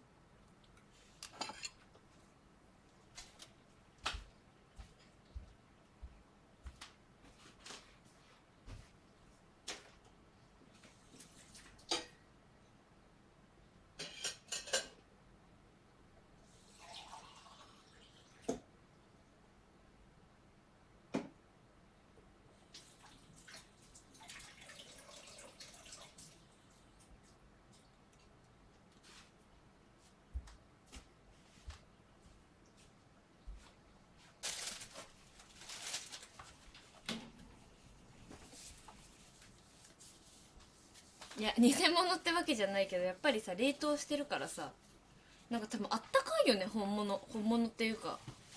あったかくないのかな？でもなんかさ炙るバスクチーズケーキって話題じゃん。話題じゃんっていうかはやバズったのって多分炙ってるバスクチーズケーキですよね。ほんも本当にバズったのって。えどうなんだろう？わかんない。でもカフェのバスクチーズケーキって炙りがちじゃん。だかあったかいんでしょ？だからあったかいと全然味変わりそうじゃない？冷たい方が美味しいと思う。いやそうなの。私もだから冷たい方が好きだろうなと思って。だから龍月が好きな気がする。だからあの。冷たいのに舌の上で溶けたよね龍月。そうなの。そこがすごいよね。ねだからね。そうそこがちょっあとったかいのが溶けるのはなんとなくわかるけど。そうなの。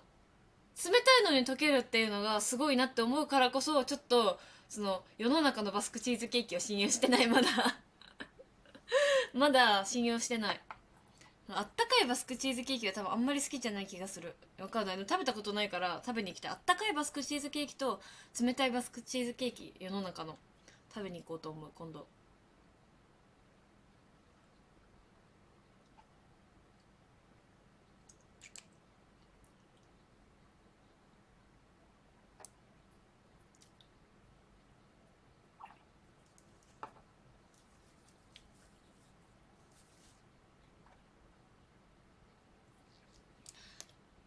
冷たかった。そうなんか多分冷たいのもあるしあったかいのもあるんだと思う。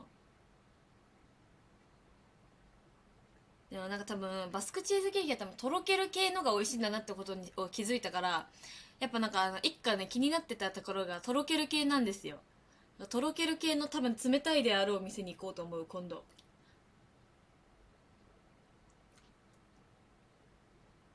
でもなんかすごい店舗がなんかなんかよくわかんないけどなんだっけななんかちょっとなんかウェイの人が行く店舗なんかなんかの CD ショップかなんかとこう同じフロアにあるなんか同じお店にあるみたいなお店カカフェらしくてなんかちょっと怖い人がいますみたいな口コミが多くて怖くて行けてなかったんですけどバスクチーズケーキが美味しすぎたのでちょっと頑張っていこうと思う今度。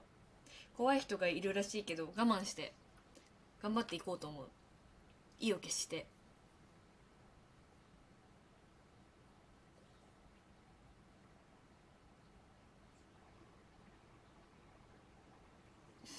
よいしょ。ごちそうさまでした。うんもう福袋開け終わりました本日分。本日分。本日分。ちなみにですねあの5個と言いましたが5個中の2つが秋葉原福袋の5個中の2つが不幸袋で2つがパソコン福袋で1つがフィギュアなんですよ。で多分皆さんパソ、私がパソコンに興味がないので 私がパソコンには興味ないのでなんで不幸袋の日とフィギュアパソコンの日で11にしようかな。がちょうどいいですかね。早く開けてみてほしい。いやでも教文は終わりました。なんか1個取りに行かなきゃいけないんだけど服の福袋も。いつ行こうかな。なんかでももうほんと福ぶ不幸不幸袋の文化終わったらしくてなんか今年最後って書いてた。不幸袋の袋にも。しかもなんかもう昨日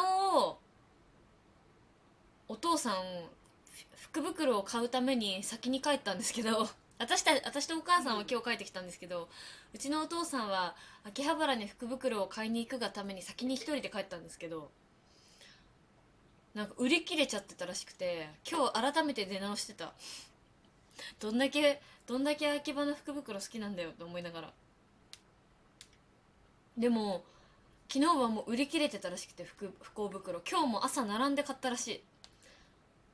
からもう不幸袋の文化なくなるらしいですね。もう悲しいかか悲しきかな。もう5年ぐらいは受けてるよね不幸袋。うん。配信で、今年で5年目か。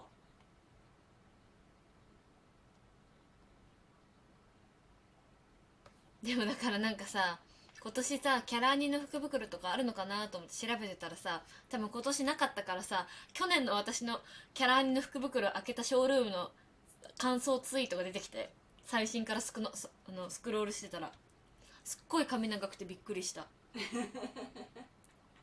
髪長っと思って。えそこ？そう。いやでもなんか私のツイート出るんだなってのも驚いたし髪長くてびっくりしたそう不幸袋なくなるらしいよ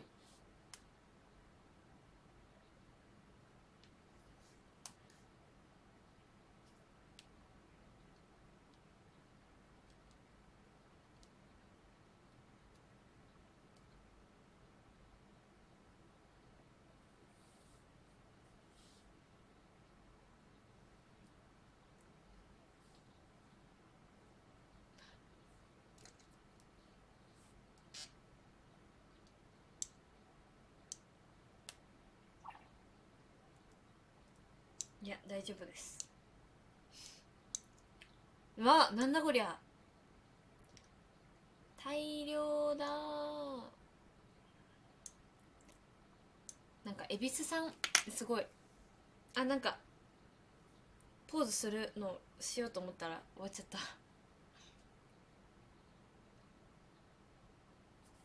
ミッドナイトパーティーさんありがたわなんか恵比寿様ってさどこがど何を見たらわかるの？この話。水戸黄門を見たらわかる？恵比寿様って。なんか今のって七福神だよね？だって。なんか七福神って何なのかいまいちよく分かってないっていう。ありがとうわ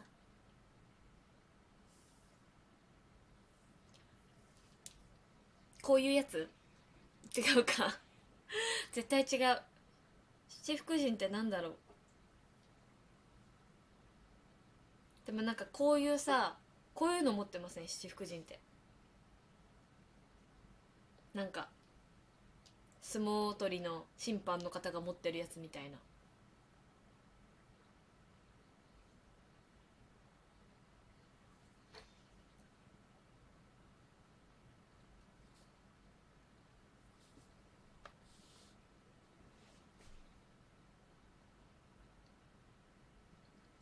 抽選の福袋ってある？フィギュアが抽選で当たったの。ああ。秋葉原の。秋葉原のあのフィギュアの福袋は抽選で当たったらしいです。あと私が1個欲しいなと思ってたお洋服屋さんの福袋が1日の朝整理券抽選タイプだったんですけど死ぬほど並んでてまあもともと帰省してたから無理だったんですけどすごいなと思った。このご時世にあんなあんな並んで抽選なんだと思って。ネットで抽選させたらいいのにと思って。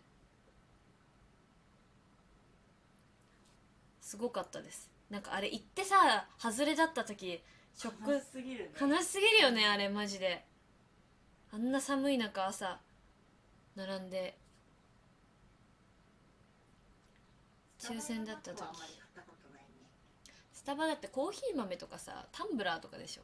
スタバスタバまず行かないしコーヒー飲めないから。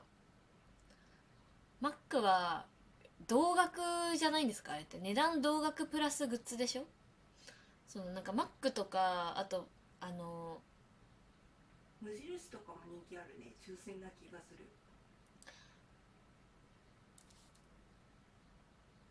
なんだっけ？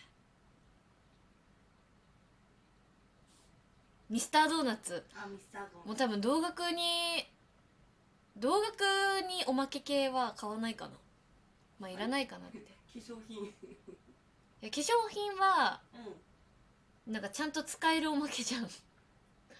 でもなんかさそういうファストフード系のおまけってさなんかあんまり普段使わないなっておまけが個人的に多いイメージがそう。あと化粧品はさもう絶対これその値段するじゃん。でもさマックとかの福袋買っちゃうとさやばい食べなきゃってなるじゃん。うん。なんか別に食べる予定じゃなかった時にマック食べなきゃってなるのがあんまり良くないなって思ってて。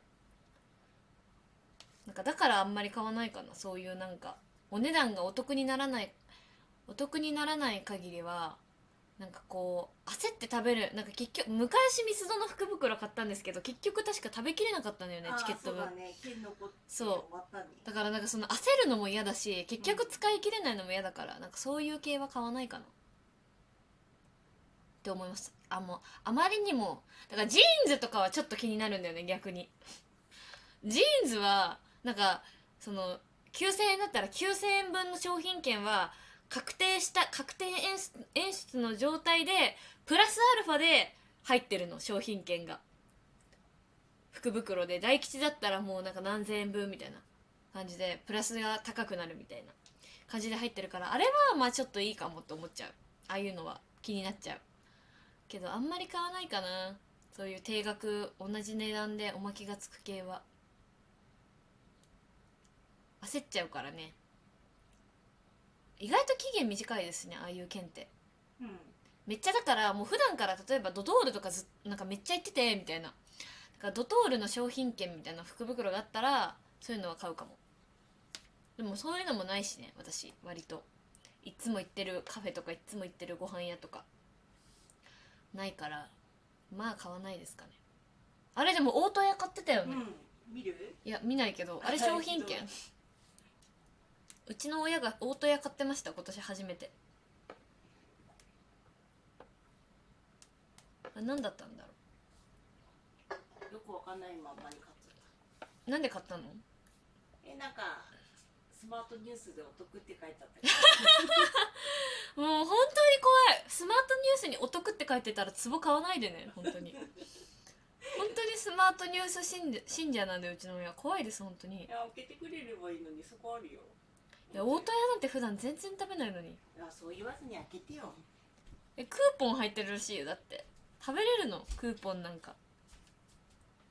なんか一回コロナ禍の時に大戸屋のお持ち帰りみたいなやつを買った時になんかメインなんかメインのおかず2種と小鉢なん。でしょ？小鉢3種みたいな。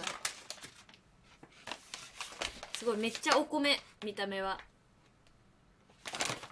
なんかそうメイン2種と小鉢3種みたいな持ち帰りプランみたいのがあったのになんか持って帰ってきたらメイン1個入ってなくて なんかそこから大戸屋のことを信用してないんですよね私は。だからあんまり買ったことなかったんですけどクーポン入ってるから久々に食べに行かないと。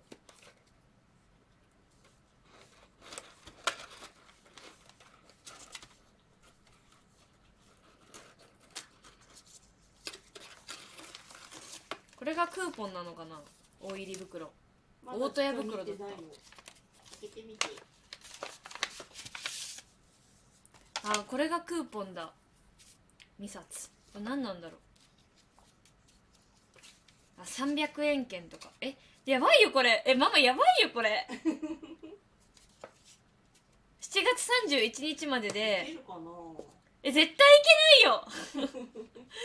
で大声出しちゃったもうこうやってね損する人なんですよ。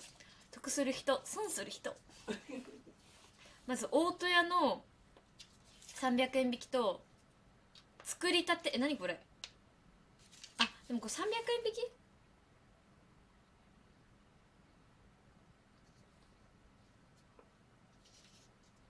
えしかもこれ1人1枚1回のお会計 1, 回1枚しか使えないからうん。すえ？3 人で行ったとしても何回行かなきゃいけないの？これ1 2何枚ある3 4 5 6 7 8 9 10あ20枚。7回行かなきゃだよ。7月31日までに大戸屋うん。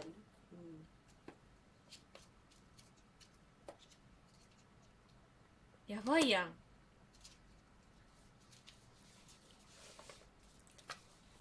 大戸屋なんて去年1回も行ってないじゃないかレベル月1のペースで行かなきゃなんですけど奥さん。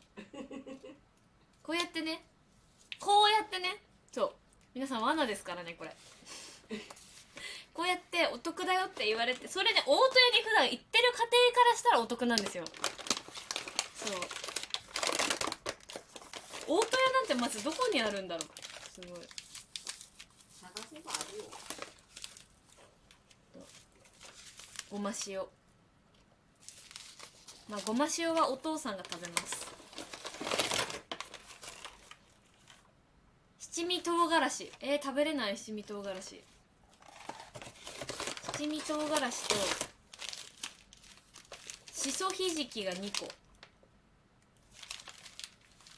れはいつまで ?8 月。え食べきれる？これ12月だ。しそひじきを最初に食べきんなきゃいけない。ごま塩は12月まで持つからしそひじきを8月までに食べきる。これも9月までの五穀ご飯。やばい。我が家全然炊いた米を食べない人間ばっかなんで。これも9月までに食べきる。まあでもこれはなんか一袋がちっちゃいから意外と3人で食べたら2回2回分ぐらいで終わるかも。で黒酢あんの素。待って嘘でしょ。これなんかさ絶対私レンチン系のさ黒酢酢豚みたいな黒酢豚？黒酢豚？みたいなやつだと思ってたら素だけだった。あんの素だけがめっちゃ入ってるんだけどこれどうやって使うんだろう？何に使うんだろう？酢豚に酢豚にな何袋入れるんだろうこれ。え？あでも一人前？え？あでも違うこれい一袋23人前入ってるんですけど奥さん。しかもこれ9月までしか持たないんですけど奥さん。待って黒酢あんかけけの素あまりにも入れすぎだろ元屋さん。あ待って米まだあった 米2回炊いたら終わりかなと思ったら全然まだ 4, 4日分ありました。待って元元だけめっちゃあるんだけど嘘でしょ？いや絶対これ配分ミスってるって大戸屋さん。どんだけ黒酢食べると思ってんだろう。だって23人前をさ1234566袋入れてるよ黒酢あんの素だけで。ってことはつまりさ3人で食べたとしたらさ18人前分あるんだけど黒酢あんの素やばくない？どんだけ黒酢あんの素黒酢あん好きだと思ってんだろう。なんかもうちょっと元変えてくれたらいいのに。あ大戸屋といえば黒ご飯だから。すごいね。18人前分の黒酢あんを作らないと。9月までに。料理配信して。やばいやん。私黒酢酢がちょっと得意じゃないんだよなあんまり。怖いわまあそんな感じでした。えお醤油入ってなかっお醤油？え下げられてるよママ。お醤油入ってないよ。たえ？やっぱりなんか大戸屋に運命ないんじゃない？そえ醤油が大事だよねなんなら一番。ううん。え醤油入ってないよ。えやっぱ大戸屋に運ないんじゃない？あ別で入ってた。あよかったよかったやっぱもう大戸屋と運命がないのかもと思っちゃったよ今一瞬。入ってましたちゃんと。別で入ってたらしいです。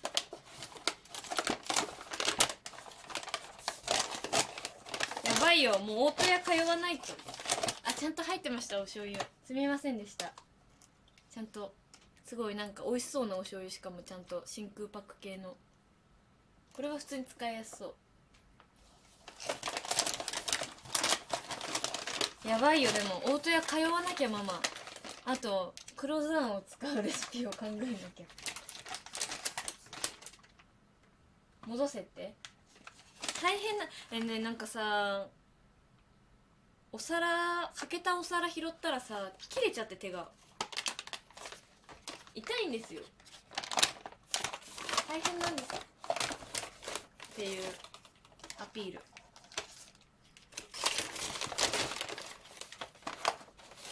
いしょいやあまりにも多いな。黒酢あんが。えでもなんかさこれどうやってつくえ奥様はさ我が家以外のさ一般家庭の奥様は18人前分の黒酢あんどうやって使い切るんだと思う？何何で使うんだろう？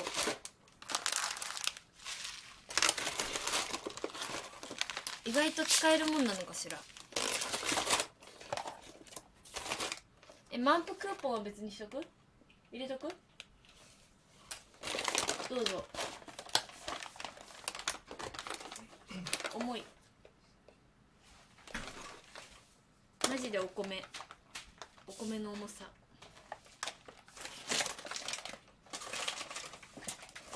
まあでも確かに。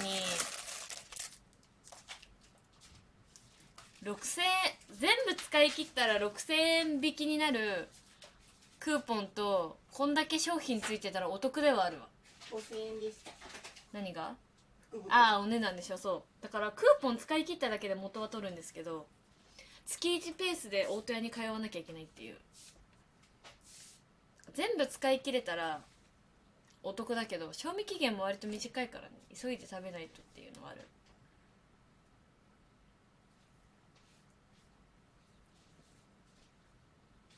え3000円の方にしたら黒酢が2個で済んだじゃん。でも醤油入ってなかったさ。あー醤油が欲しかったのね。醤油が欲しかった。あなるほどね。うん。確かに醤油入ってないわ。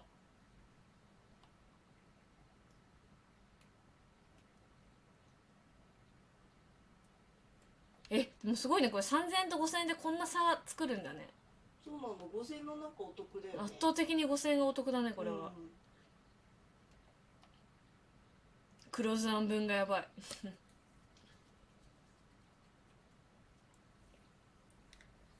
黒酢あんいや黒酢あんマジであの1パックを1人前にしたらさちょうどよかったんだろうけど23人前入っちゃってるのがすごいわ。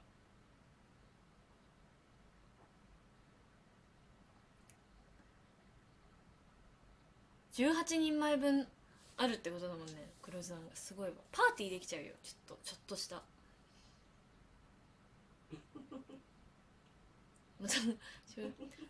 なんかでも多分3000円だと3000円から5000円にするだけで醤油としそひじきが1個ともちもち五穀ご飯のパックが6袋と黒酢あんがえっ、と4袋増えるの。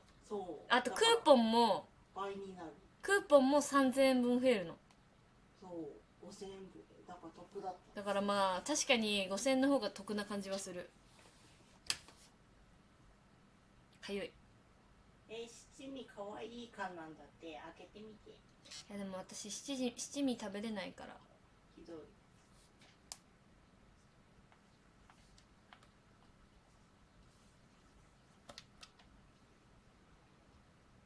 いや黒酢あんそう黒酢あんの量の増え方えぐいよねすごいんよ。他は全部2倍とかなのにさ1人だけ2.5倍されてるから。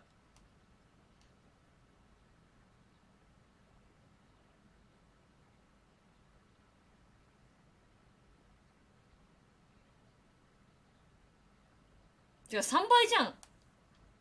6袋なんだから3倍されてるわ。1人だけ。えぐいねん増え方が。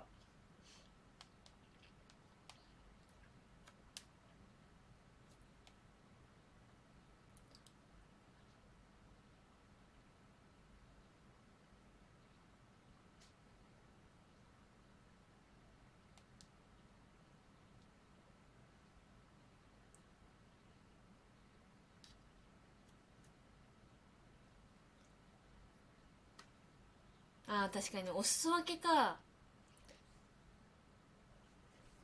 友達にあげようかな「黒酢あん好き?」って言って。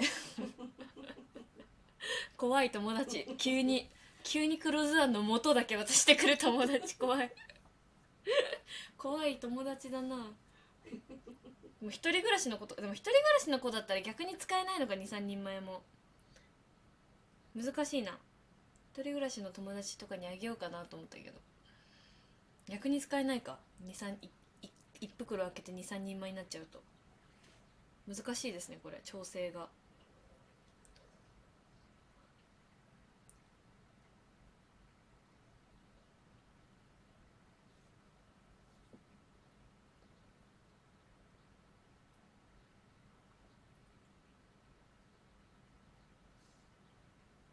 急に黒酢好きって聞かれるの恐怖だよ。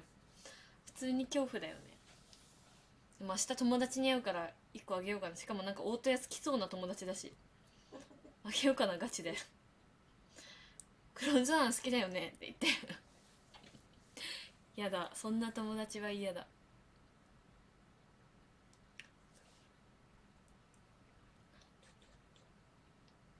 マジで誰かに渡さないとなくならない量だよね。18人前はちょっとさすがにさすがになくならんよなよ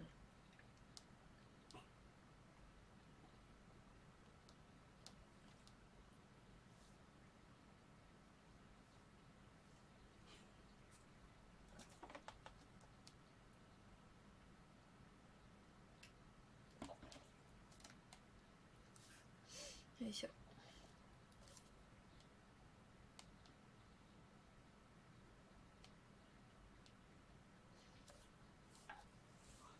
そ う割引券あげて。いや黒酢あんの方黒酢あんと割引券じゃセットで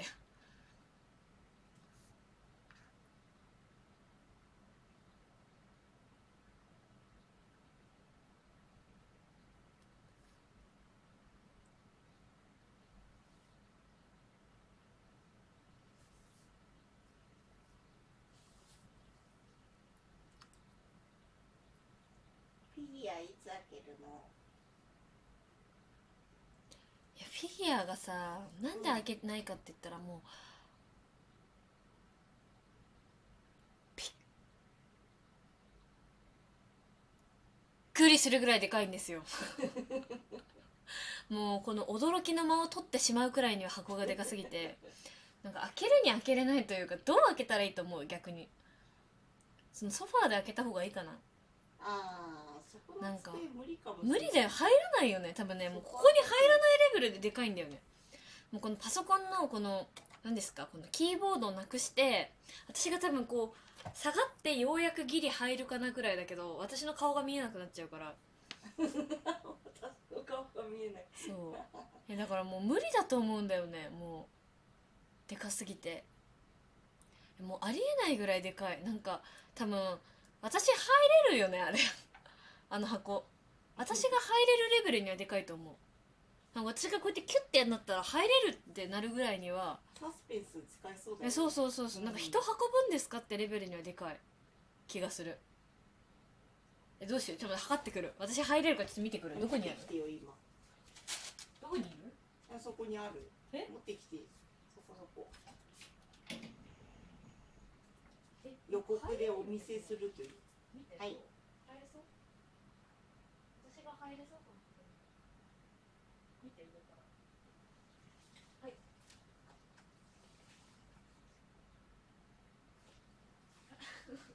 入りそうだった。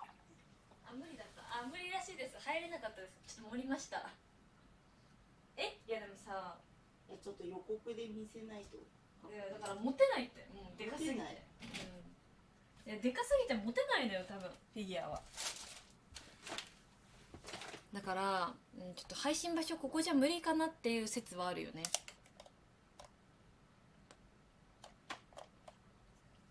て感じです。なんでまた別日にちょっと場所を変えて配信するかもしれません。前髪が割れます。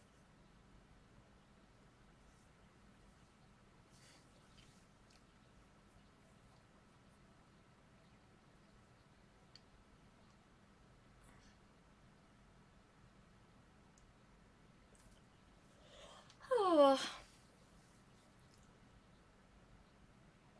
皆さんは何日までお正月休みですか ?3 日 ?4 日から仕事？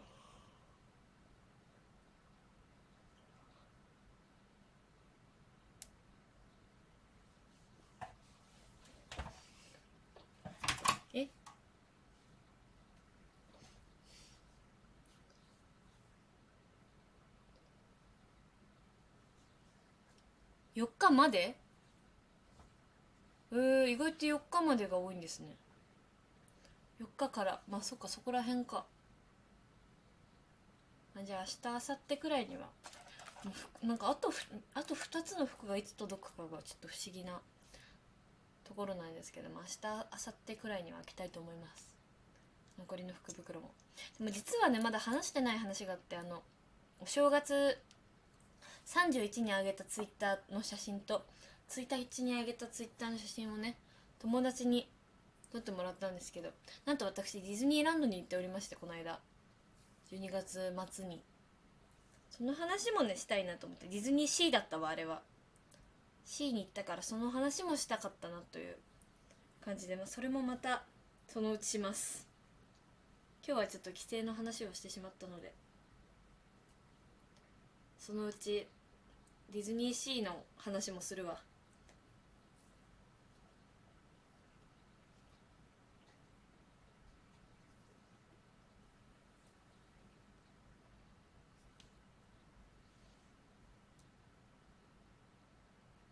という感じですかね。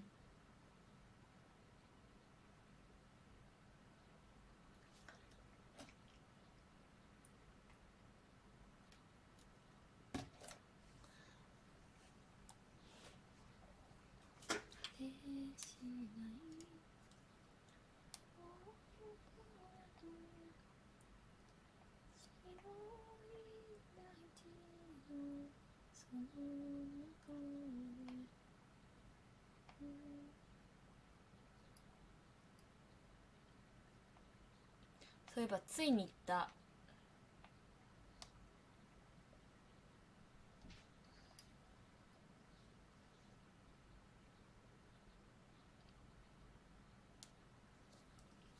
ついにこの神戸のずっと行きたかった ずっとなんかちょっとなまっちゃった。ずっと行きたかった。りんごのカフェに行ってまいりました。あ暗い。明るいと思ったら暗い。でもなんかねちょっと悲しいことがあってなんかめっちゃ可愛くて満足してるんですけどなんか私が頼んだりんご飴めっちゃ細くない？りんご なんかめっちゃすっごい細長いりんご飴じゃないっていう。そこだけちょっと悲しかったんですけどもすごく可愛くて。すごい気に入っております。あまりにもさなんかさ私が加工したんかなってレベルでりんご飴が細長すぎてなんか私りんご飴に小顔効果かけちゃったってぐらいにはりんご飴が細長細長すぎてこれなんか姫りんごっていうちっちゃいこんくらいのサイズのりんごをりんご飴にしてるやつなんですけどなんかあまりにも細長くて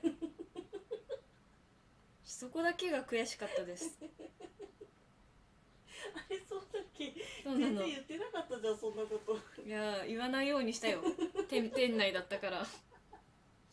なんかでもこれ別になんか私がそのちょうど向きを間違えたとかじゃなくてどんなに一番太い面に向けてもこれが最大値なの。細長いんよやっぱちょっと。そうなの加工失敗感がだから逆にこう太らせようかなと思って。丸くさせる加工させようかなって思うんだけど後で。あまりにも細長くてちょっと悲しがってた。でも美味しかった。なんか久々にりんご飴食べてめっちゃ美味しかった。でもなんかりんごのりんごの種って食べていいんでしたっけ？なんか私ダメかなと思って。めっちゃ焦っちゃって。難しかったんですけど食べるのが。りんごの種ってなんか独特な毒独特な毒ってなんかすごい。なんか毒素みたいのがあるみたいなないみたいな話ありました？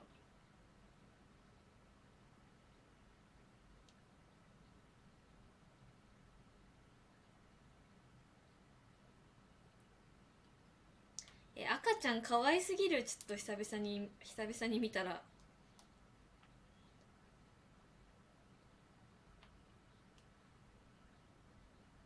飛行機からの空綺麗でした。あと思い出写真はねそんなもんかな。あこの撮影の謎謎のオブジェ雪景色雪 口回んなくなった急に。雪景色。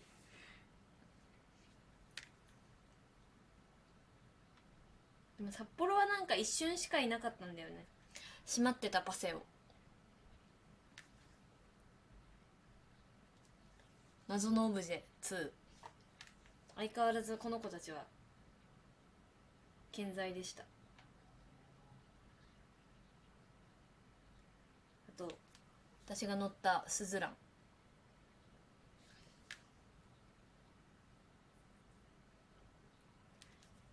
雪。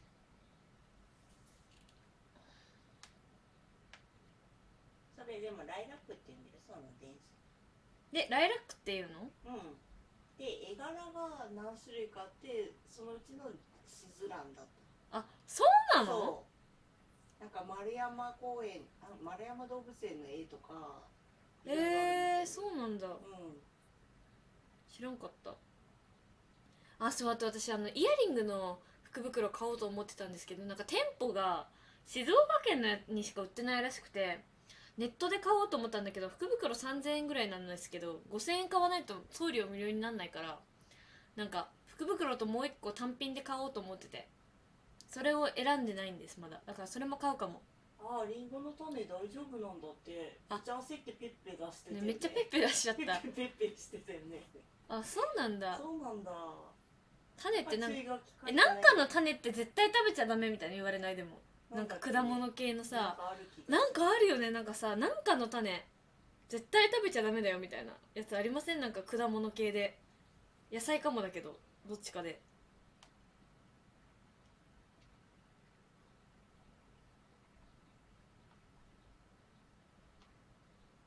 今年の口取り。かわいい。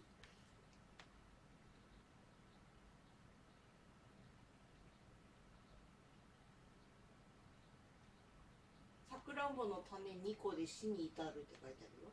あさくらんぼかも。うん。えわかんない。どうだろう。さくらんぼでも普段食べないからな。うちのお父さんがタクシー降りる時にズボッてした穴が雪穴が雪が降ってなんかちょっとおしゃれになってた。写真。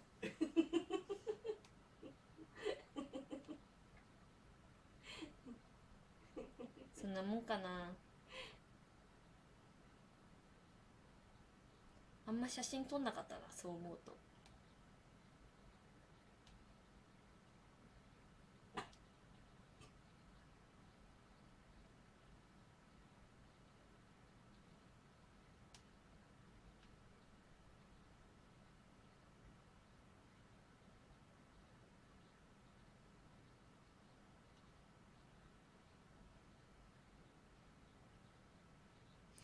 そんなもんでした。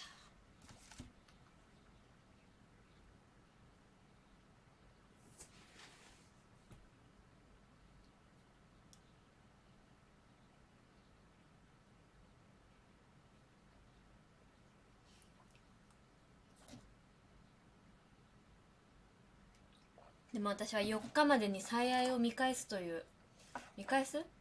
全部一気見するという使命が残っていますので4日まではとにかく頑張りたいと思います。そちらを。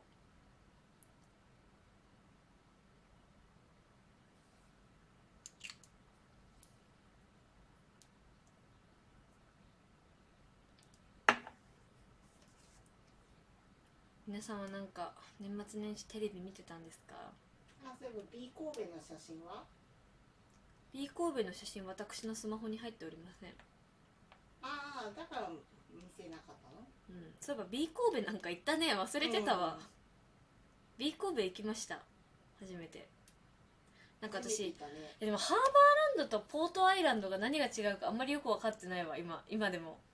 なんか私ハーバーランドとメリケンパークって多分ちっちゃい本当もう5歳とかには行ったことがあったんですけどもうそれくらいが最後だったから覚えてなくてなんかないなんか記憶を形成するために行こうってなってもう久しぶりにハーバーランドとメリケンパーク行ったんですけどなんとポートタワー工事中でなんか全然全然ポートタワー 見えなくてなんかあんまりだからハーバーランド来たって感じがあんまりなくてすごいちょっと悲しかったけどよかったですすごい。なんかハーバーランドのなんかザラめっちゃ見やすくて買い物したかったけど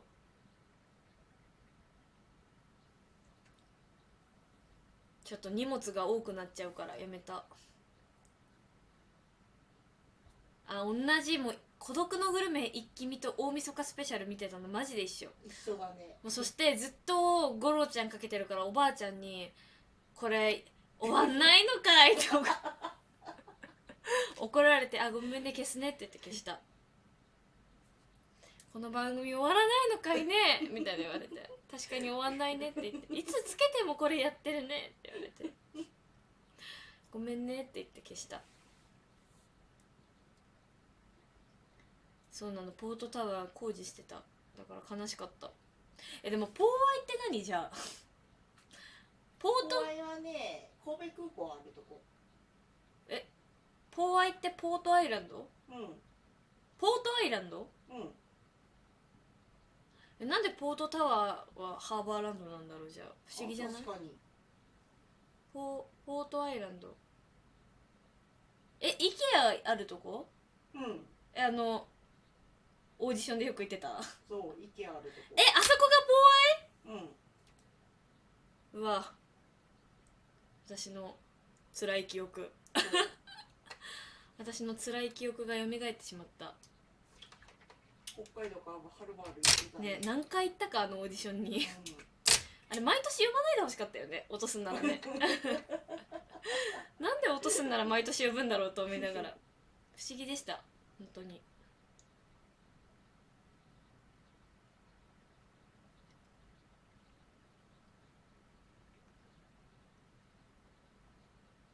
うーんんえ IKEA 以外に何かあるの？ポートアイランドって。今はねなんか動物いるかもしれない。動物？動物のに触れる的な？ううん触れ合いみたいな。うん一回も行ったことないけど。そうなんだ。あれこないださあの連絡してくれてたやつがそれ？じゃあ。なんか予約しなきゃって言ってたやつ。いやそれは三宮の近くにできた後は。うー予約しんないといけないやでも思ったのその神戸久々に行ったらなんか大丸に行ったんですよ最初に。ブーツを見に。高くて買えなかったんですけど大丸につ興奮しすぎ。大丸で。いや大丸元町大丸に行ったの？最初に神戸に着いて。最初に大丸に向かって大丸の前のバス停で降りたら目の前が中華街でえ？みたいな。え中華街出たら大丸あるの？と思って。えなんでその当たり前のこと言います？え私知らなかった。私ちだからさ私なんてさもうまあどんだけ外の景色を見てなかったというかなんというかあのー、多分記憶なんかちっちゃい頃なんてそんなもんなんだよね結局。だからお出かけで連れてってもらっても毎日通らない限り場所を覚えれない人だったんです私の幼少期って多分。だから私多分小1の頃に中華街めっちゃ行ってたんですけどなんか私なんなら自由研究みたいなやつで元町中華街に行ったよっていうなんかただの絵日記みたいな。小1ぐらいの自由研究小3かなぐらいの自由小一の自由研究。小1の冬休みの自由研究だ。夏がピザを作ったよっていう自由研究やって冬休みがその帰省したから元町中華街に行ったよっていうなんかポスターみたいな。作ったんだ自由研究で。そう覚えてる。それくらいちゃんと自由研究にするぐらいしっかり元町中華街行ったのになんか出た先に大丸があるのを知らなくて。逆に多分それが最後くらいなのかな元町中華街に行ったのが。いやだからもうびっくりした。なんかだから神戸の街ってほんとギュッて詰まりすぎじゃないと思って。なんか私あんなに三宮と元町が近いのも知らなくて。だからなんかさもう元町の大丸見てさ中華街あるってなってさなんかこうたぬき工事みたいな大ガード通ってったらもう三宮じゃん。もうあんなにキュッとしてると思ってなくて。なんかすっごいキュッとしてなんかキュッとしてるというかなんかディズニーランドみたいだなと思って。なんかこうちょっとちょっと歩いたら次のエリアみたいな。ちょっと歩いたら次のエリアそう。なんかすごいなって。だからなんかもっとこう東京みたいに点在としてると思ってたの。もうこの駅は中華街でみたいな。そうそうそうそう。うん。あ大丸が銀座でみたいな。そう。そう。中華街は横浜でみたいな。そうそうやって点在そうなんかこう駅が点在してるんだと思ってたの私って。そしたらもうキュッてなってて。びっくりしちゃったちょっと。なら健康な人なら三宮からハーバーランドまで歩くよねきっと。ねいやねそうだよね。元気な人なんかびっくりしたよあんなに近いの。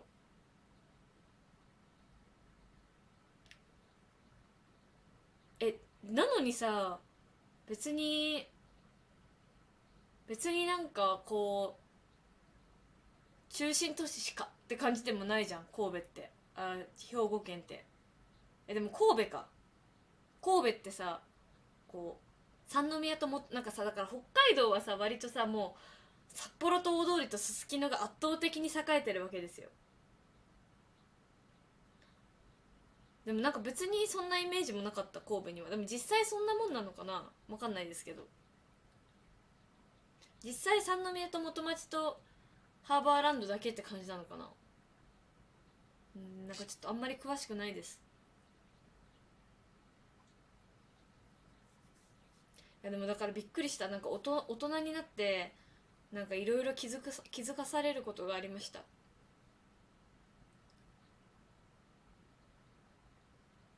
なんかやっぱあんまりね大人にななんか高校を卒業した後から帰省する機会もなかったし帰省しても遊ぶき遊ぶことがなかったんでなんか本当にもう家に顔見せに行くだけとかしかなかったんで。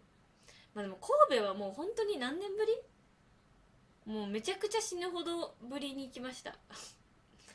もうめちゃくちゃ久しぶりでした。だからそれもあるんだろうなって思いましたけど。B 神戸いい写真。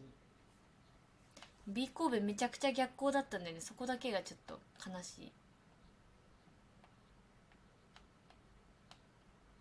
えでも綺麗。影まで神戸って見えるじゃない。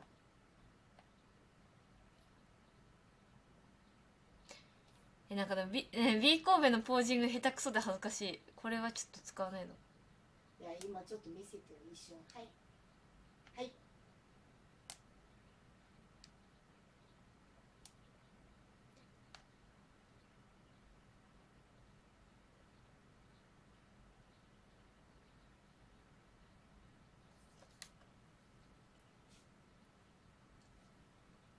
B 神戸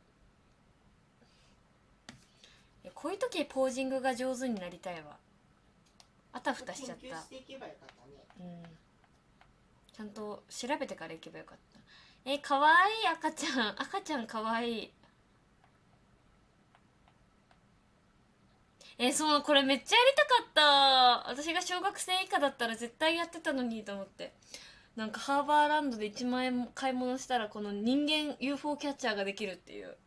UFO キャッチャーになれるよっていうのがあって。明日までだっけ？3日までそういいよね。体重5 0キロ未満の小学生以下だったからできなかったんですけど。マジでやりたかった。え赤ちゃんかわい。い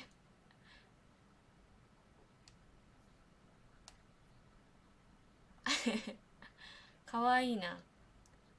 なんか私って赤ちゃんの頃から乾燥肌だったから肌がねめっちゃたなんか赤くてしょうがなかったんですけど。え私が食べれなかった肉寿司めっちゃうまそうじゃん。びっくりしちゃった今写真見て。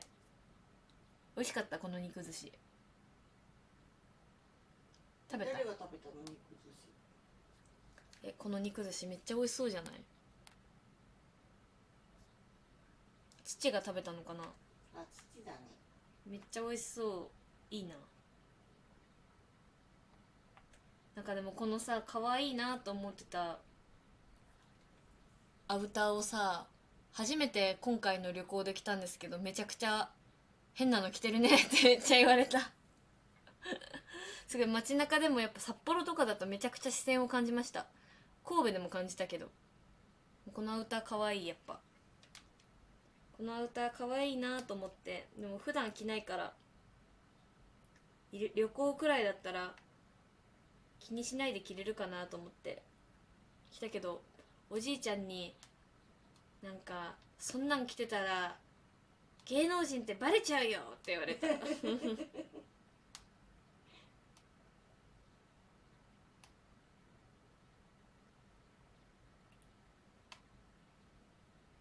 えこれ何？この飛行機からっぽい。飛行機からっぽい。飛行機飛行機からっぽいか。飛行機からっぽい。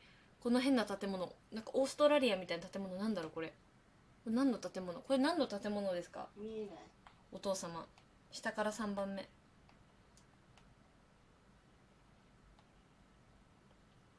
うわ本当だ。めっちゃ混んでる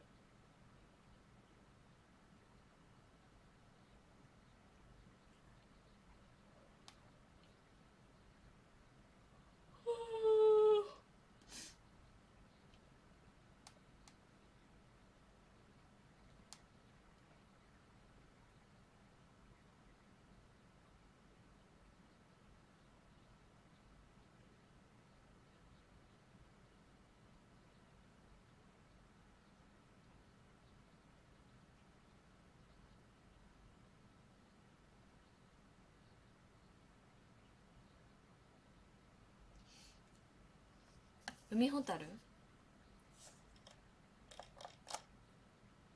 この服マジでね AKB 好きだったものからしたらもうこのアウター可愛すぎる問題はあるよね。うんあまりにもやっぱ赤チェックの亡霊すぎて買ってしまったけど着ない。着れない普段はあんまり。一回だけなんか表参道に着ていったかな。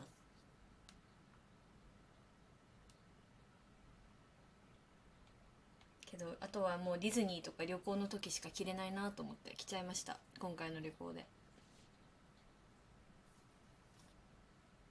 えーなんか楽しかったなでも。原宿ではあんまり見てなかったよねそう原宿表参道では来なかったあんまり。いや浮いてたけどでもまあなんか他にも派手なそう他にも派手な人がいるから別になんか私だけって感じではなかった。だからやっぱはま原宿表参道に行く時だけ着ていこうかなって今後。でもあったかいんだよねやっぱ。ボアだから。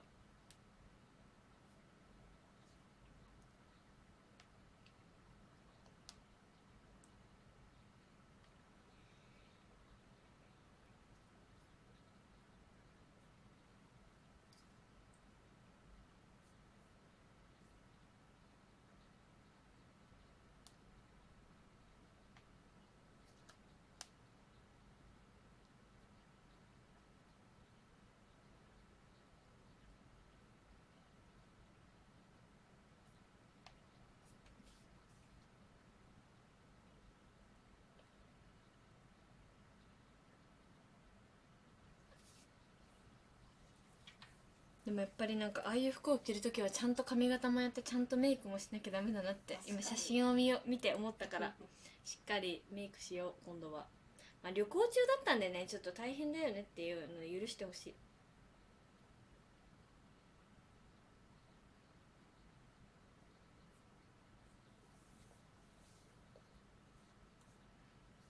まあそんな感じです。なんかあったかな他にとりあえず規制の話だけここで紹介していきたいなという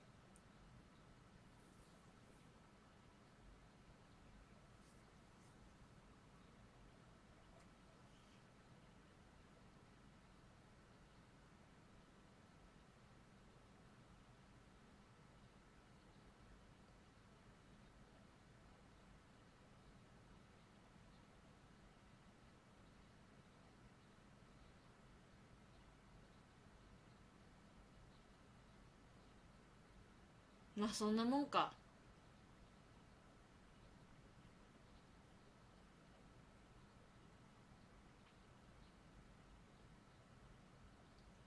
ということで今日はじゃあそんなもんで終わろうかな。明日明後日でまた秋葉原で買った福袋を開けたいなと思います楽しみ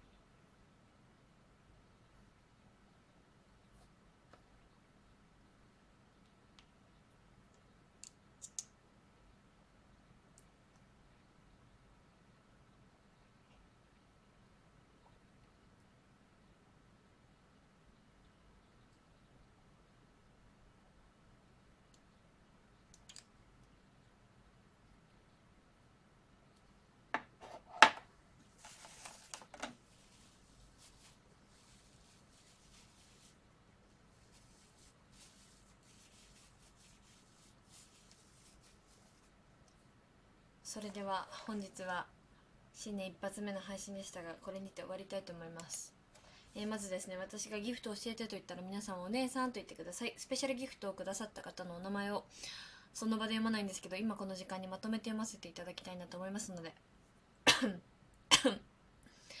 えー私がギフト教えてと言ったら皆さんはお姉さんと言ってください。それでは行きたいと思います。せーの。ギフト教えて。お姉さん。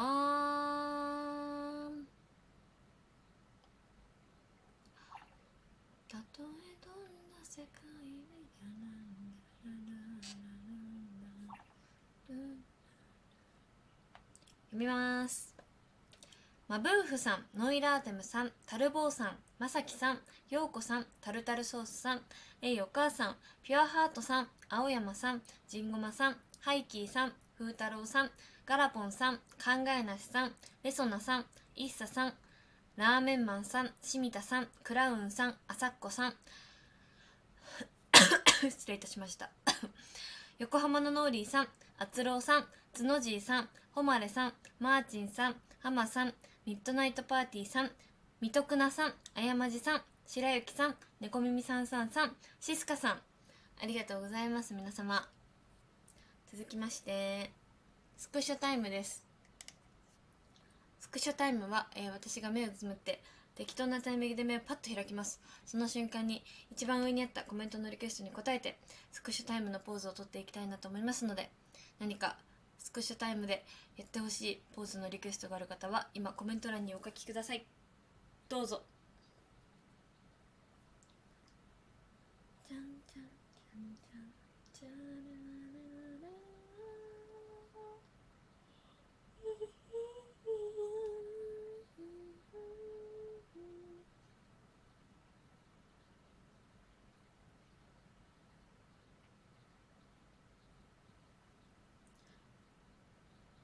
緒に行こうよ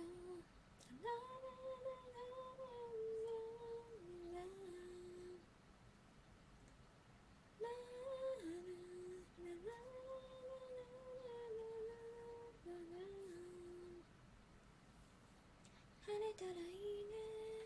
晴れたらいいね。晴れたらいいね。はい。赤ちゃん。私いやー私本当になんか大人顔で男顔なんだなって悲しくなったんだよな。すごい。どうやったら赤ちゃんっぽくなるかな。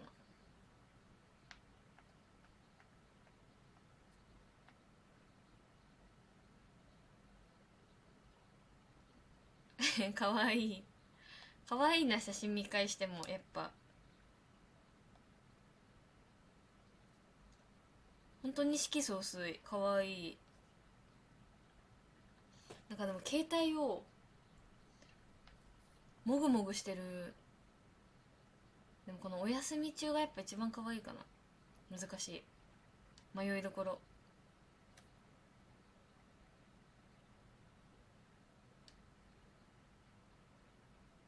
携帯もぐもぐしてる写真が可愛いんだけど携帯もぐもぐでできないから。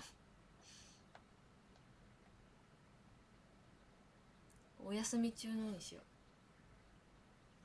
お休み中は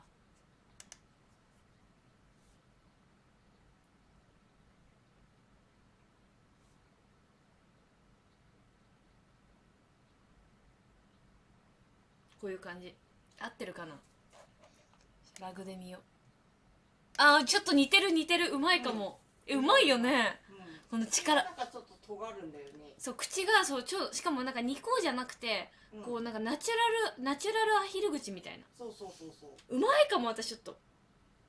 えでもちょっと意識しちゃったらできなくなった。最初なんかうまかったな。なんかこの上唇がねすごいんだよね。こうこうなの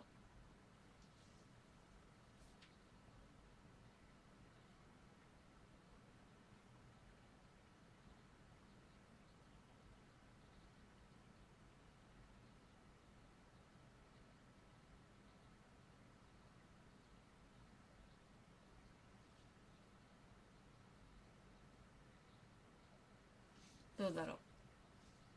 いややっぱさっきの方がうまかったな。難しいこれ。再現性がちょっとない。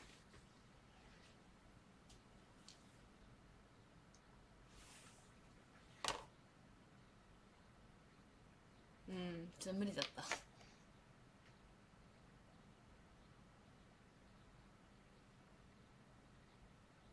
意識しちゃうとダメですねこういうのって。まあそんな感じです。じゃあ聞いてハムもどうぞ。いや携帯が犠牲になっちゃうんで。大丈夫っすそれは。可愛いでも。本当に可愛い。いいな。なんか私ももうちょい赤ちゃんの頃赤ちゃんらしい顔になってたかったな。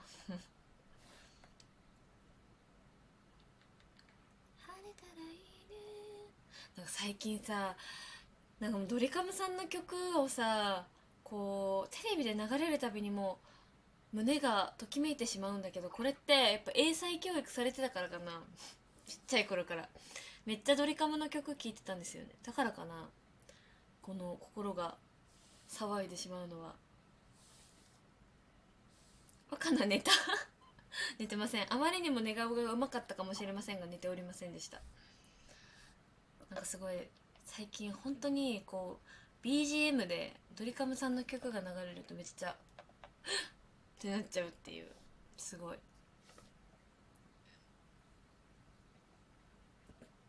なんかもしかしたら鍛えられてるからかな。やっぱでもやっぱ好きなのかやっぱこう英才教育の力が大きいのかどっちなんだろうなって最近思うの。でももう今となっては分からないよね。本当に私が好きだったのかその曲が。英才教育あってなの賜物なのか。この間なんだっけウィンターソングだっけあれ。うん。あれのカバーがなんかどっかで流れたんだよね。リンゴのカフェだっけそれこそ。あリンゴのカフェかも。えわかんない。どこだっけな？どっかで。なんか多分外出先のご飯屋とかでなんかウィンターソングの誰かなんか男の人がカバーしてるウィンターソングが流れてめっちゃいい曲じゃんと思っててもカバーがいい曲って相当いい曲だよなってお母さんと喋っててでさっきあの出川さんのなんだっけあの充電の旅？充電の。見てたら「晴れたらいいね」が流れてめっちゃいい曲じゃんと思って。すごい最近ずっとドリカムさんの曲聴くとめっちゃいい曲じゃんって言ってる。一生。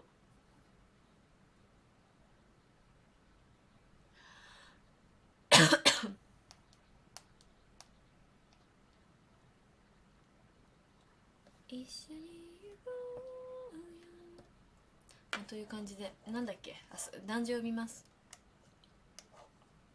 なんか言う、えー、13位マブーフさんありがとうございます。12位白雪さんありがとうございます。11位ほまれさんありがとうございます。10位ノイラーテムさんありがとうございます。9位青山さんありがとうございます。8位ようこさんありがとうございます。7位ラーメンマンさんありがとうございます。6位タルタルソースさんありがとうございます。5位クラウンさんありがとうございます。4位ハイキーさんありがとうございます。3位レソナさんありがとうございます。2位考えなしさんありがとうございます。そして第1位はミッドナイトパーティーさんありがとうございます。皆様ありがとうございます。えー、ということで最後に合唱して終わりたいと思います。視聴コメント星ギフトすべてに対して感謝の気持ちを込めて私が最後に感謝ですと言います。そしたら皆さんはそれに続いて合唱と言ってください。一番最初に合唱と言ってくださった方と100番目とどめの合唱してくださったお二方のお名前を表彰させていただきますのでぜひ1番手100番を目指して合唱と言って帰ってください、うん、ということで、えー本日も新年一発目の放送をご視聴いただきありがとうございました。また明日も福袋の配信開封をしたいなと思いますのでそれは明日の気分です。気分で。はい。明日も多分夜配信すると思いますので皆様もしよかったら遊びに来てください。ということで新年明けましておめでとうございます、えー本本年もよろしくお願いいたします。本日の配信はこれで終わりたいと思います。感謝です。合唱。一緒に行こうよ。ダラダラララダラララダラララララララララダララララララダララララララはい。1番しみたさんとどめ考えなしさんおめでとうございます。しみたさんと考えなしさんおめでとうございます。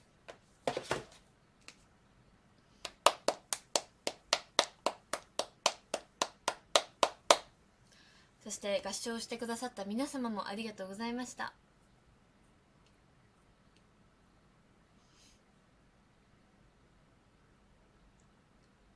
えー、ということで一発目の配信はこれにて終わりたいと思います。皆様も本年も何卒よろしくお願いします。そして元気に健やかに健康に一年お過ごしくださいませ。は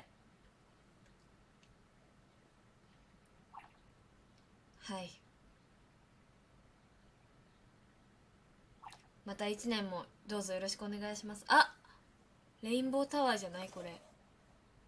違った。ありがとうございます。でも。